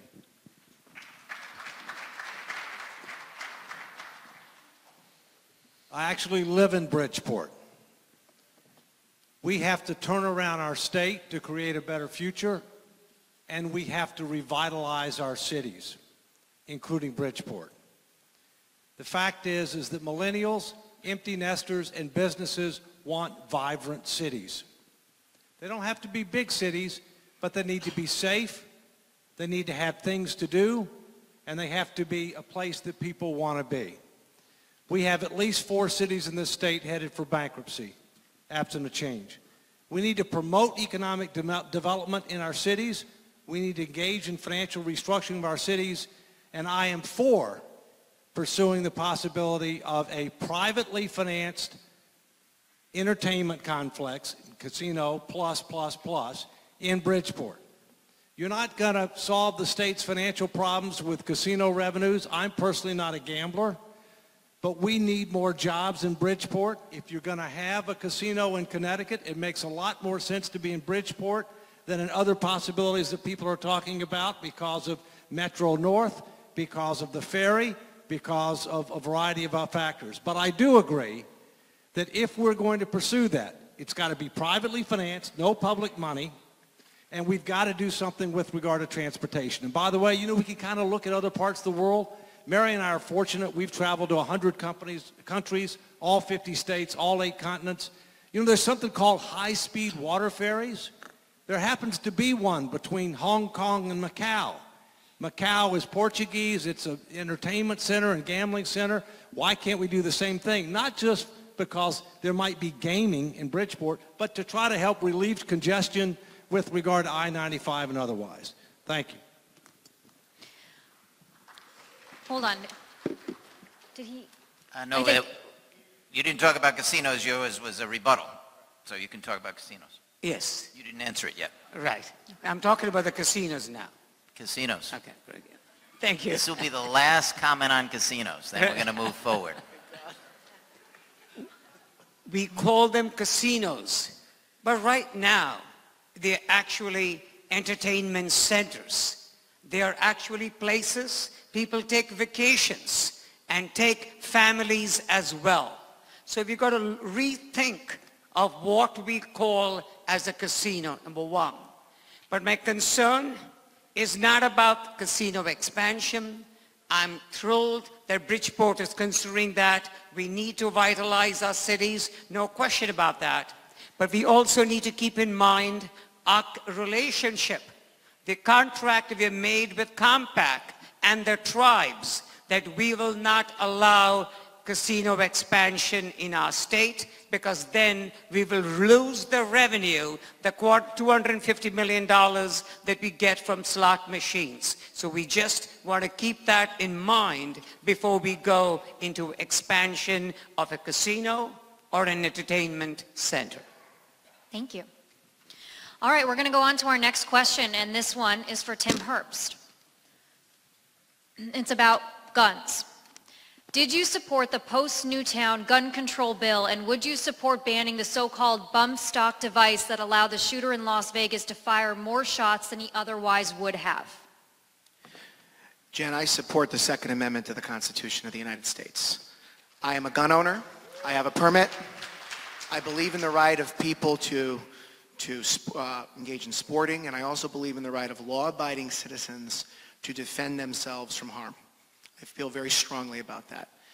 That law did not do enough to address the 800-pound gorilla in the room, which is mental health. We have a mental health crisis in this country. And I know people want to talk about guns, but this governor has depleted funding for mental health and wellness consistently. Dr. Srinivasan talked about the one mental health facility in the state of Connecticut where we had people in that facility that were being abused and there doesn't seem to be any accountability from our state government. We have some of the toughest gun control laws in the country. In point of fact, before 1160, Governor Weicker instituted some of the toughest gun control laws in the country. This is a problem that needs to be confronted by addressing the underlying cause of why people commit acts like this. They're not operating on a full cylinder.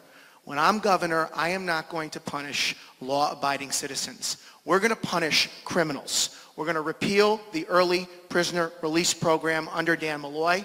We're going to stop decimating the Connecticut State Police like this governor's done every year. And you know what? In my first 100 days as governor, I will send a bill to the legislature reinstituting the death penalty in the state of Connecticut. The bump stock device, though. Can you, are you, would you support that, banning that or no? Uh, Senator Boucher asked for... The bump stock device, that was the question. The question was, would you support banning the so-called bump stock device that allowed the shooter in Las Vegas to fire more shots than he otherwise would have? There's questions about that actual device as it relates to Las Vegas. There are still questions about whether or not that was a bump stock just to be clear. I think it's significant to point out that we have some of the toughest gun control laws in the country. And I think that what you're talking about, the Congress of the United States is going to have to take up. I am not in favor of any additional gun control until we start addressing mental health. We have people that kill other people with cars, mow people down, not just guns. We have people that commit violent acts because they're not operating with a full deck of cards. And what happened in Newtown was as much about mental health as anything else. And you know what? I haven't seen the legislature act upon addressing increased funding for mental health, increasing funding for school safety, which they should have done under 1160, and increasing funding for local towns and cities. All right. Thank you, Tim.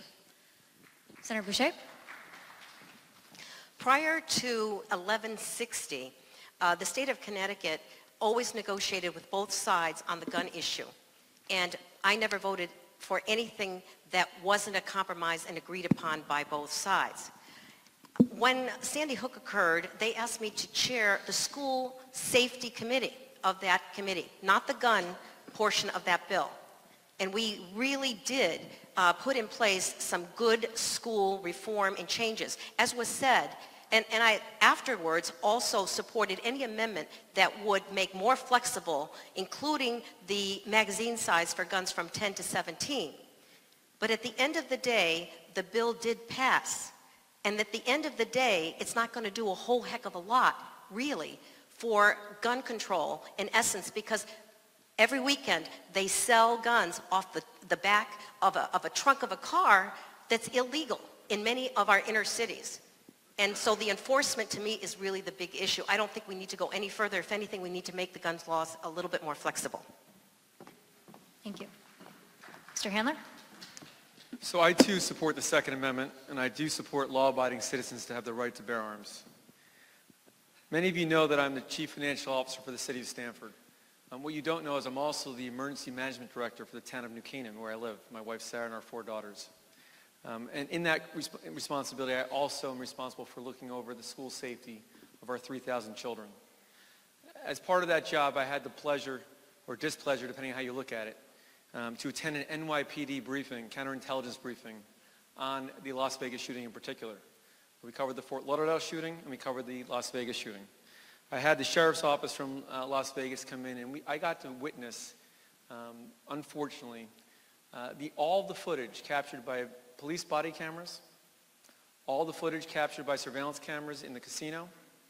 I also viewed all the footage captured by Uber drivers waiting for the people at the show to let out. And what I saw, I had to sit through six minutes of 1,100 shots being fired. So to answer your question, the bump stock is not a recreational shooting device. It's something that is designed for mass killing.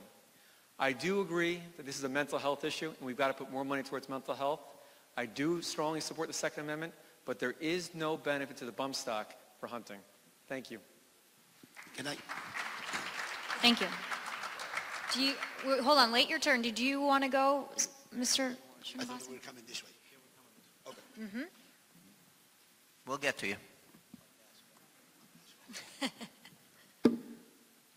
I am a physician, a physician in practice for almost 40 years now. And to me, the critical point on this discussion is mental health. Unless and until we have enough funding and we address mental health, all of these, what we see, the atrocities, whether in our own state and in other states across the nation, will continue. And what we try to do here is law-abiding citizens become felons, and those who don't abide by the law don't care about it anyway. So to me, I would always focus, I would always concentrate as we move forward, how can we, how should we continue to address this big plague that we have, mental illness, an illness that you do not want to talk about, continues to stay in the closet, as opposed to other illnesses. If I, God forbid, I don't, if I have cancer, you are all going to empathize with me. You're going to be supporting me. Why not mental health? That's what we need to address. I just want to make sure we're doing the same thing that I did with Mr. Herbst over there. Would you support Representative Srinivasan or not a bump stock ban?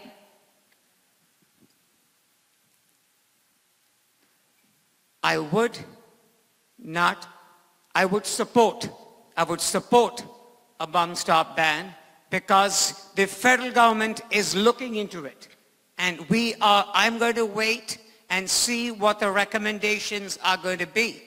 I believe in law of the land, whether it be sanctuary cities, which I will always oppose, because that is the law of the land. And the same thing here, look at it at a national level, see what the picture is, and that's what I will be supporting moving forward.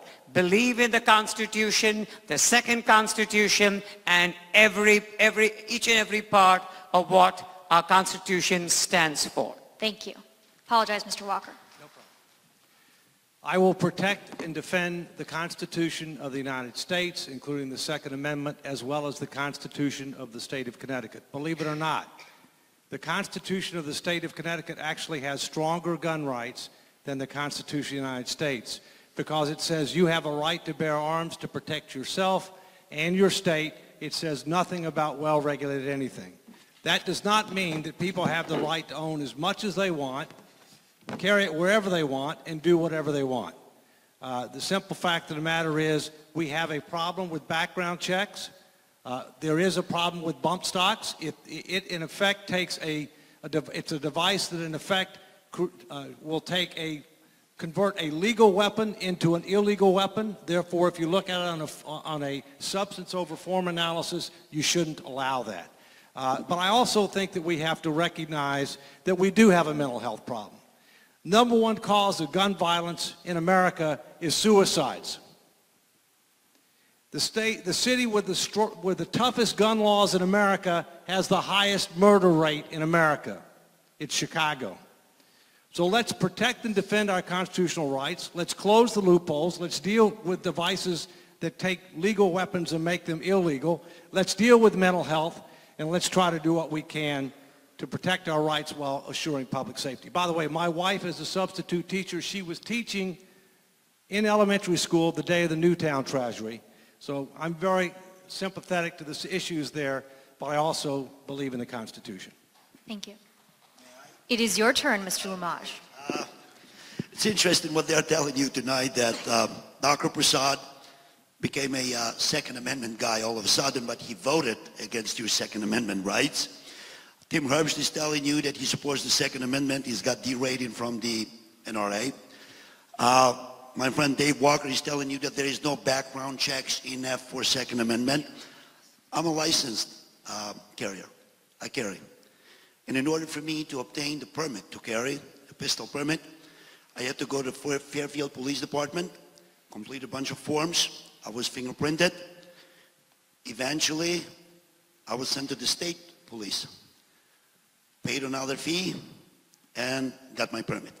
They did a background investigation on me before they gave me a permit. Now, Second Amendment is a natural right. It is a God-given right.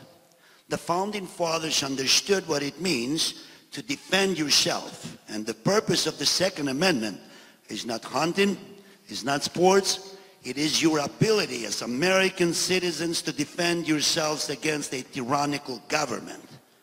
How do I know that? I studied that in law school. I'm an attorney. One of the reasons why I'm passionate about the Second Amendment is to do the fact where I came from.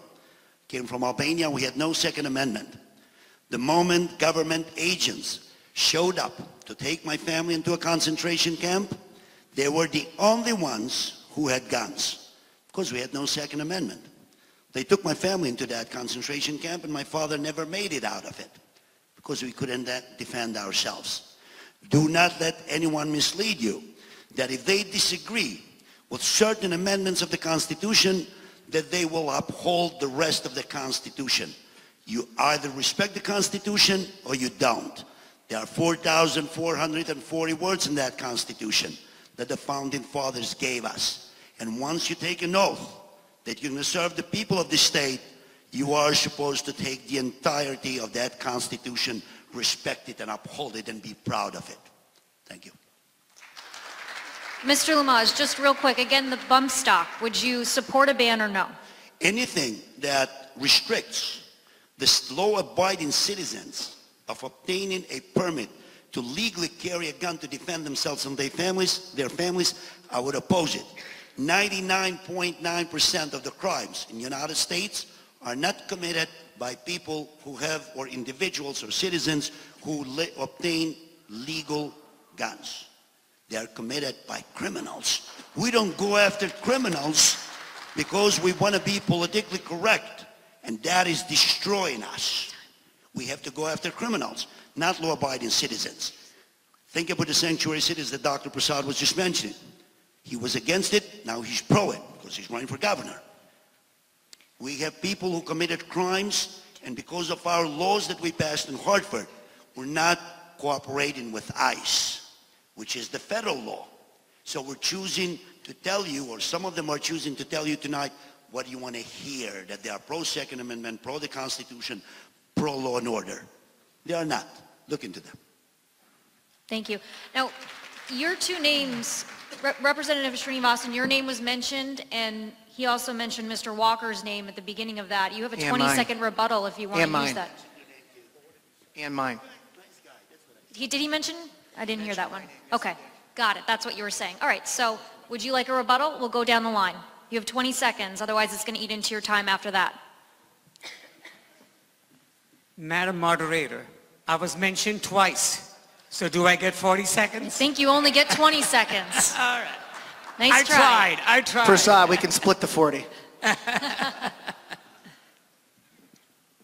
We've got to look beyond what is just said today. And this reference that I suddenly am going back and forth because I'm running for governor, no. You've got to look at that bill. Time. That bill had mental health. That was the reason that bill was so important to all of us. Mental health. Thank you. Uh, I'd just like to make a, a note here. Uh, the, the crowd can't see it, but I'd like all the candidates to take a look. We're running, starting to run low on time here, and please pay close attention. Some have run out of time, so I'd just like everybody under the rules to just uh, take a look at how much time you have or you don't have. And you will have a Uh, one-minute rebuttal at the end, or not a rebuttal, Correct. a uh, closing statement. Everybody, even if they've run out of time, will have one minute at the end. Yes. Would you like to use your 20-second rebuttal? And He you can go- mentioned my name, but Yes. what, I rec- what I recalled him saying was I was a nice guy, and I totally agree with him. Al- Although he implied, he implied if you had any restriction whatsoever, that you were violating the Second Amendment.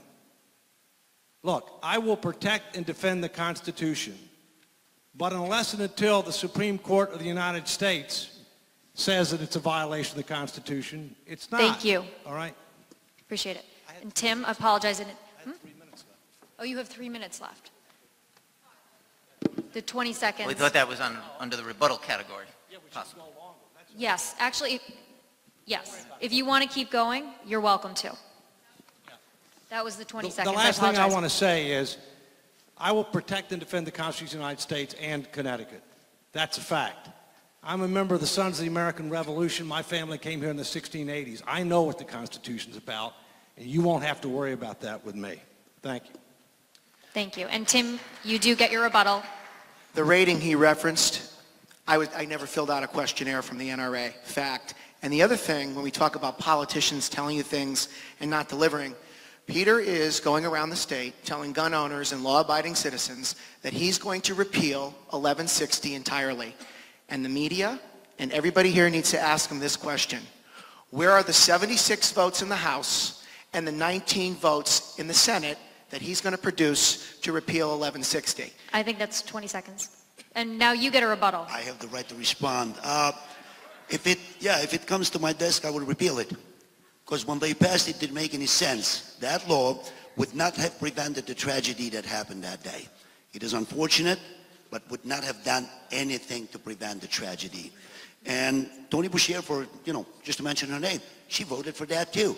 We got three Republicans here tonight who voted in favor of restricting your Second Amendment right. I'm concerned about it because if they don't respect your Second Amendment, who assures you that they are going to respect your uh, First Amendment or Fourth Amendment or Fifth Amendment? I think, I still believe, you either take the Constitution in its entirety and you respect it and you abide by it, or you don't believe in the Constitution and become a Democrat. Most of them are, by the way.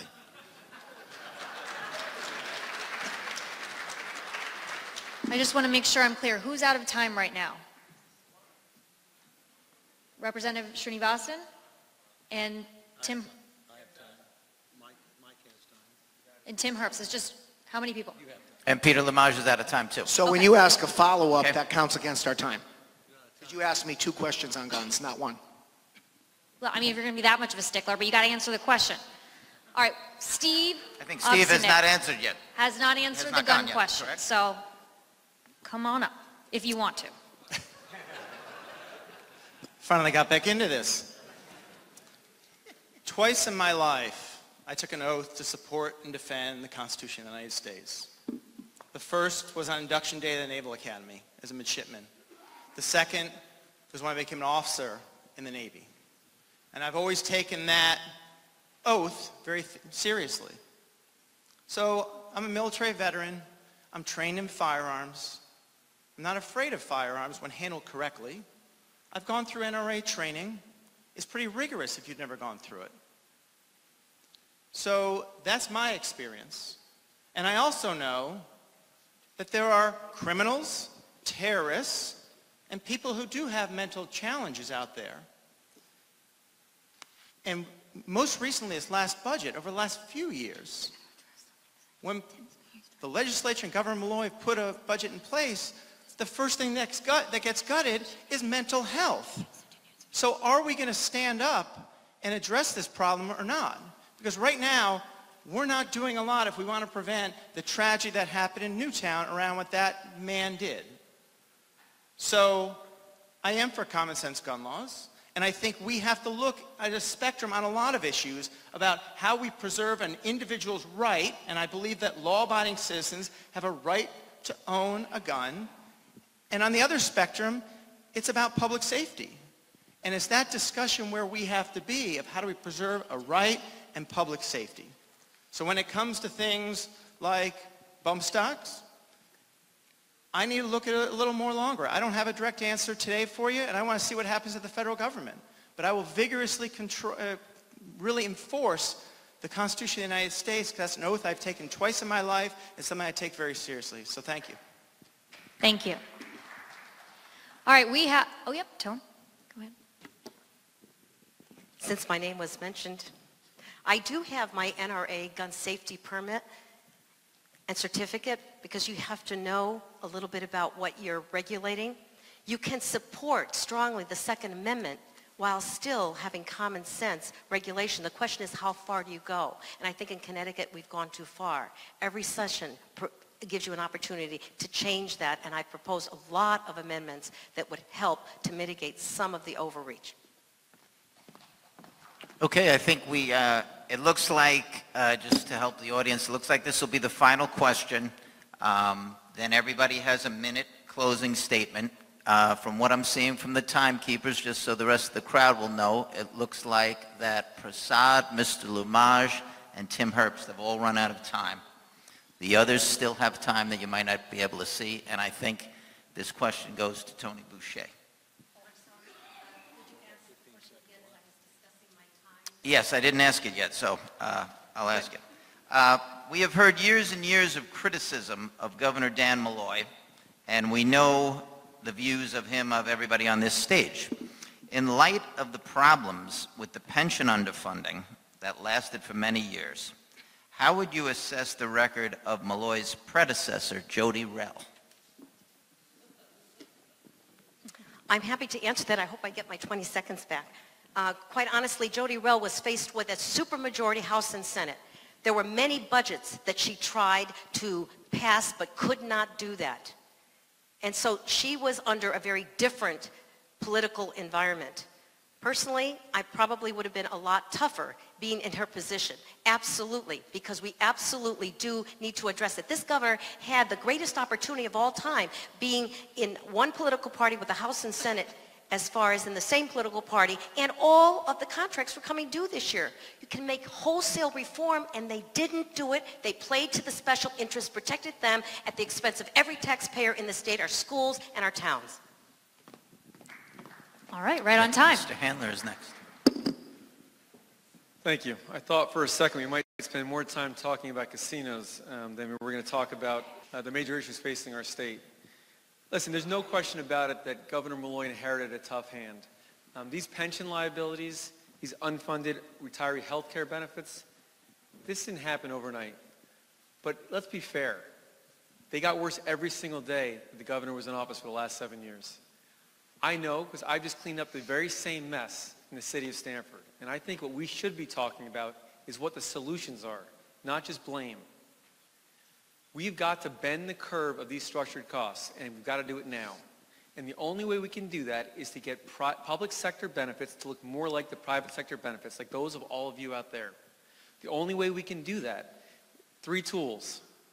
We can legislate it, and I would implore the legislature today, to start tonight, go back and start working on legislation that will remove collective bargaining rights for benefits. Take benefits away from the collective bargaining arena and move it to the legislative arena. Step one. Number two, we've got a legal challenge. I would also ask the legislature to work with attorneys to figure out what the best argument we make for the inability to pay for these benefits. And we should start making that right now today. But that alone is not going to solve the problem. The last tool we have at our disposal is the one we need to use, and it's the one I've got experience in the city of Stamford with. It's negotiation. I inherited 10 bargaining units in the city of Stamford. We negotiated the benefits to look more like the private sector benefits, by, not by hitting them with a hammer, not by arguing or talking over people, but by listening and by educating and by talking to people about what the true definition of the word unsustainable means for you and your families. And once we got through that definition, we started to make real substantive progress on benefits that we can afford, that is fair to employees and is fair to the taxpayers. And then we back that up with our commitment to fully fund all of those benefits. And today, Stamford is the only city, a AAA city, who fully funds 100% of the long-term contributions required for both pension and retiree health. And that's what we should be talking about as a state. That's what we have to do, and we have to do it now. Nothing else is going to matter unless we resolve this issue.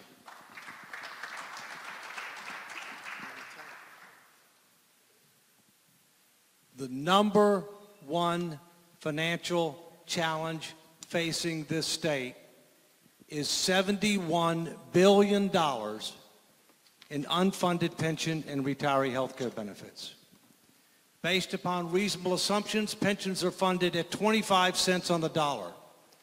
Retiree health care is funded 1 to 2 cents on the dollar. It is 70 to 80% of our financial problem.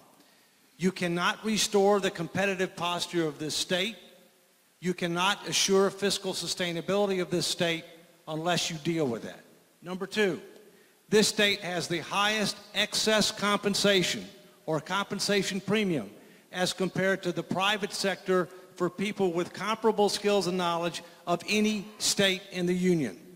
It's not because we pay employees too much in cash compensation. We don't. In many cases, we should pay them more based on skills, knowledge, and performance. But we way overpay on pensions and even more overpay on health care and retiree health care. I am uniquely positioned to solve this problem. I have run two of the three federal agencies that oversee private pension and employee benefit plans. I've run a worldwide consulting operation that deals with for government, private sector, and the not-for-profit sector, and I've worked with governors and others who have actually tackled this problem in other states. Let's do not kid ourselves. You are not going to be able to bargain these changes.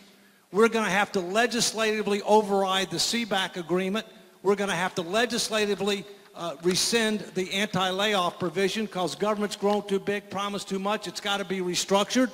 In addition to that, we're going to have to legislatively uh, state what our pension and health care benefits are so that they are as good or better than a Fortune 100 company, but we can afford it and sustain it. I want to do that.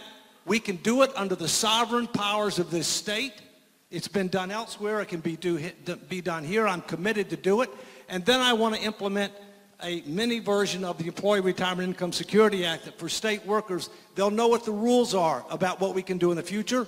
We'll have a firm commitment to fund, and we can have much tougher conflict of interest rules with regard to asset management because there are all kinds of conflicts going on in our asset management. Thank you. Thank you.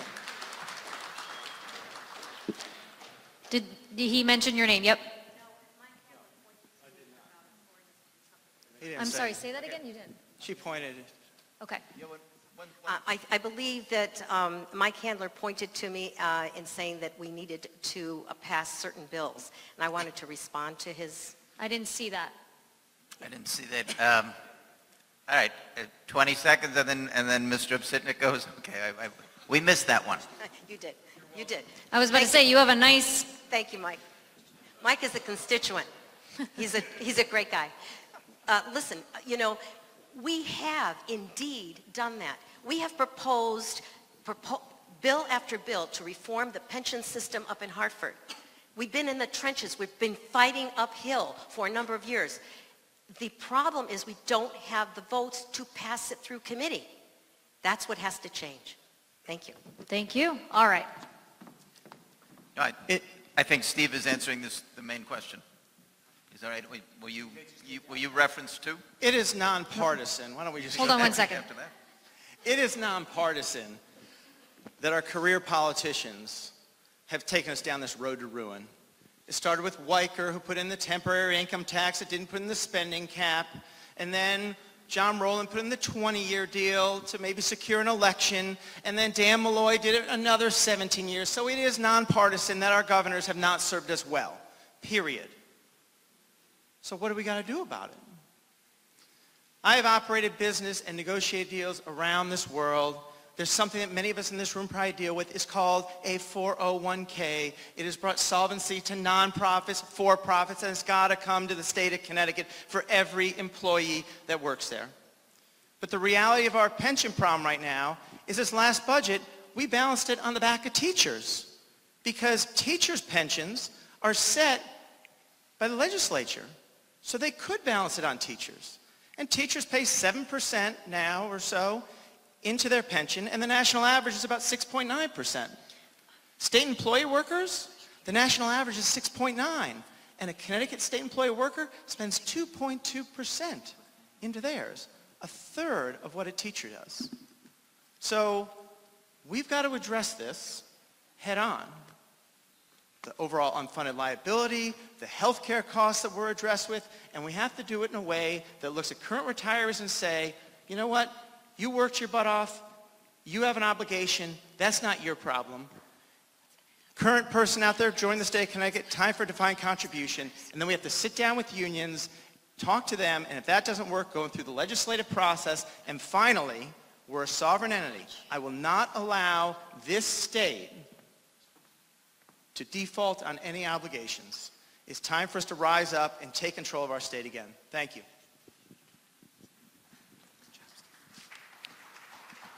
This is a 20-second rebuttal, I believe. I was referenced as a legislator, and that's why I'm rebutting here. In this legislative session, we saw the SEBAC agreement tying down for 10 years, two and a half governors, five legislative sessions. We all opposed that. Republicans opposed that SEBAC agreement. Thank you. All right. Who has some time left here? We have two minutes for Mike. Anybody else? Everyone else has their time. You have 10 seconds. Okay. 10 seconds. 10 seconds. What would you like to say? You want to share, Mike? What we're going to do is we are going to add it to your closing remarks. Does that work for you all? Get, you'll get a minute 10, you'll get three minutes. All right, so just while we're starting to stretch the rules a little bit, it's time for closing remarks, which is a good thing. Uh, and we're going to start on this end, right? Correct. We start at the end, Senator and Senator Boucher. Boucher is first, and then we will uh, swing back. In my exploration for statewide office, two things come to mind.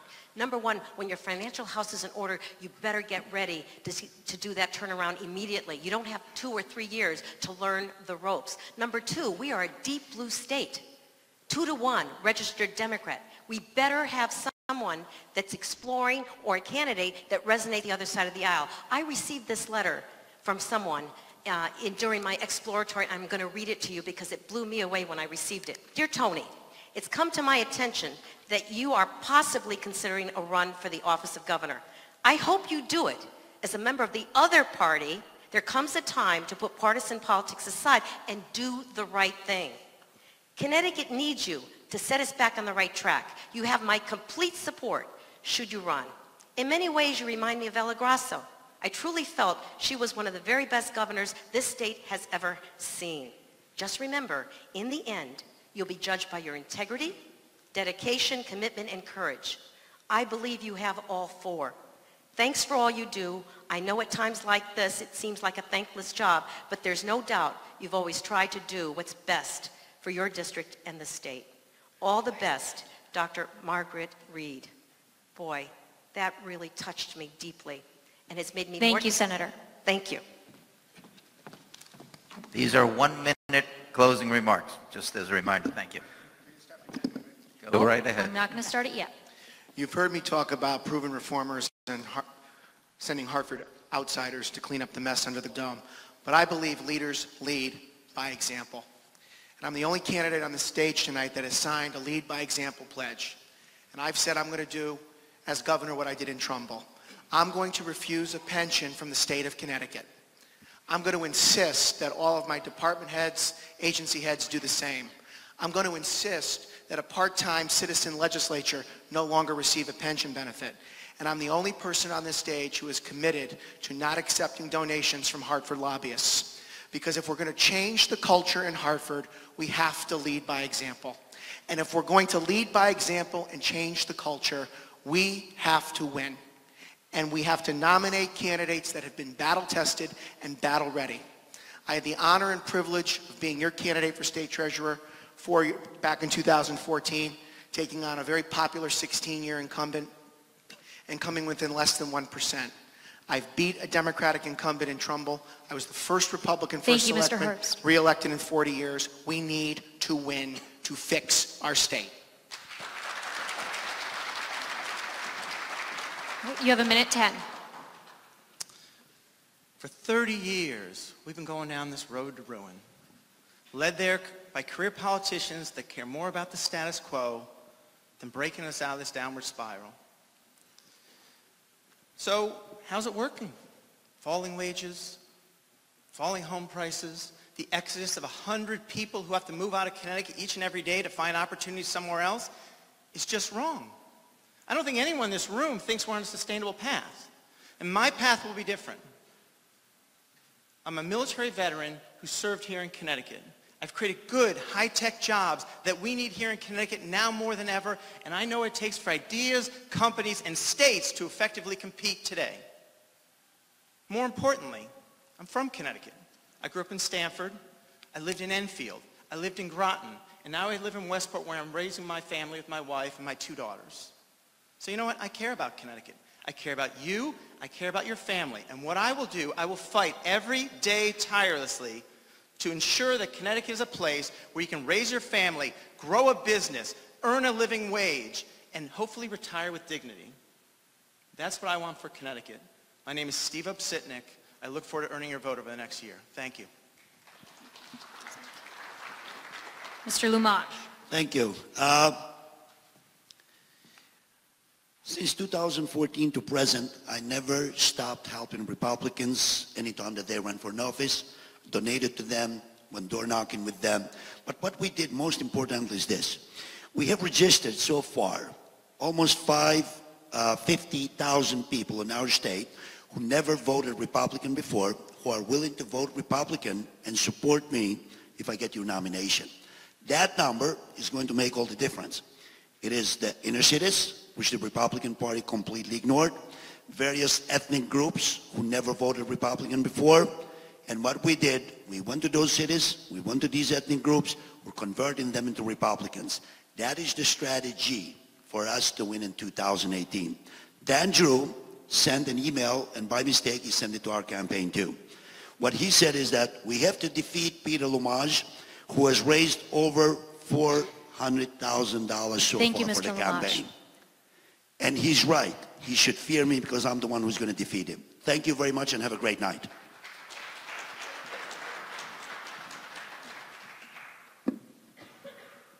My wife, Mary, and I chose Connecticut eight years ago.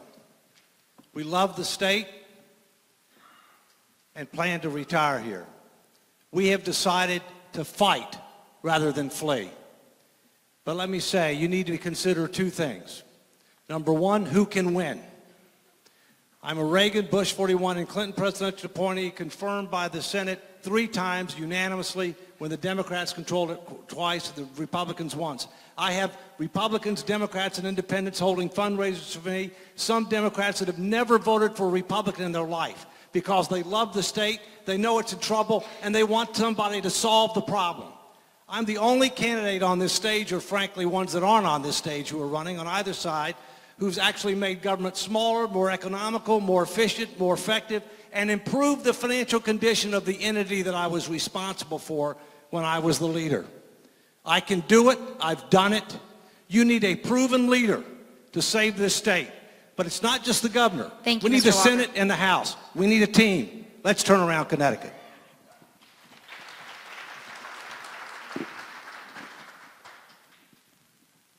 I want to thank everybody this evening for being here and supporting all of us. You heard differences among all of us. And the important thing we've got to remember is Connecticut is not only a two or three state, it has an area called 860 is another area code where I come from. And that is critical in this election moving forward. I am not your stereotype Republican. Look at, it, look at all of us here. You need a message. You need a messenger. The message has to resonate not just with the Republicans. It didn't get us far in the last two election cycles for governor.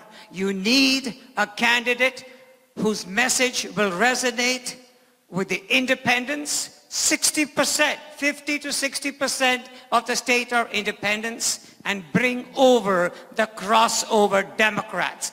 That candidate is me.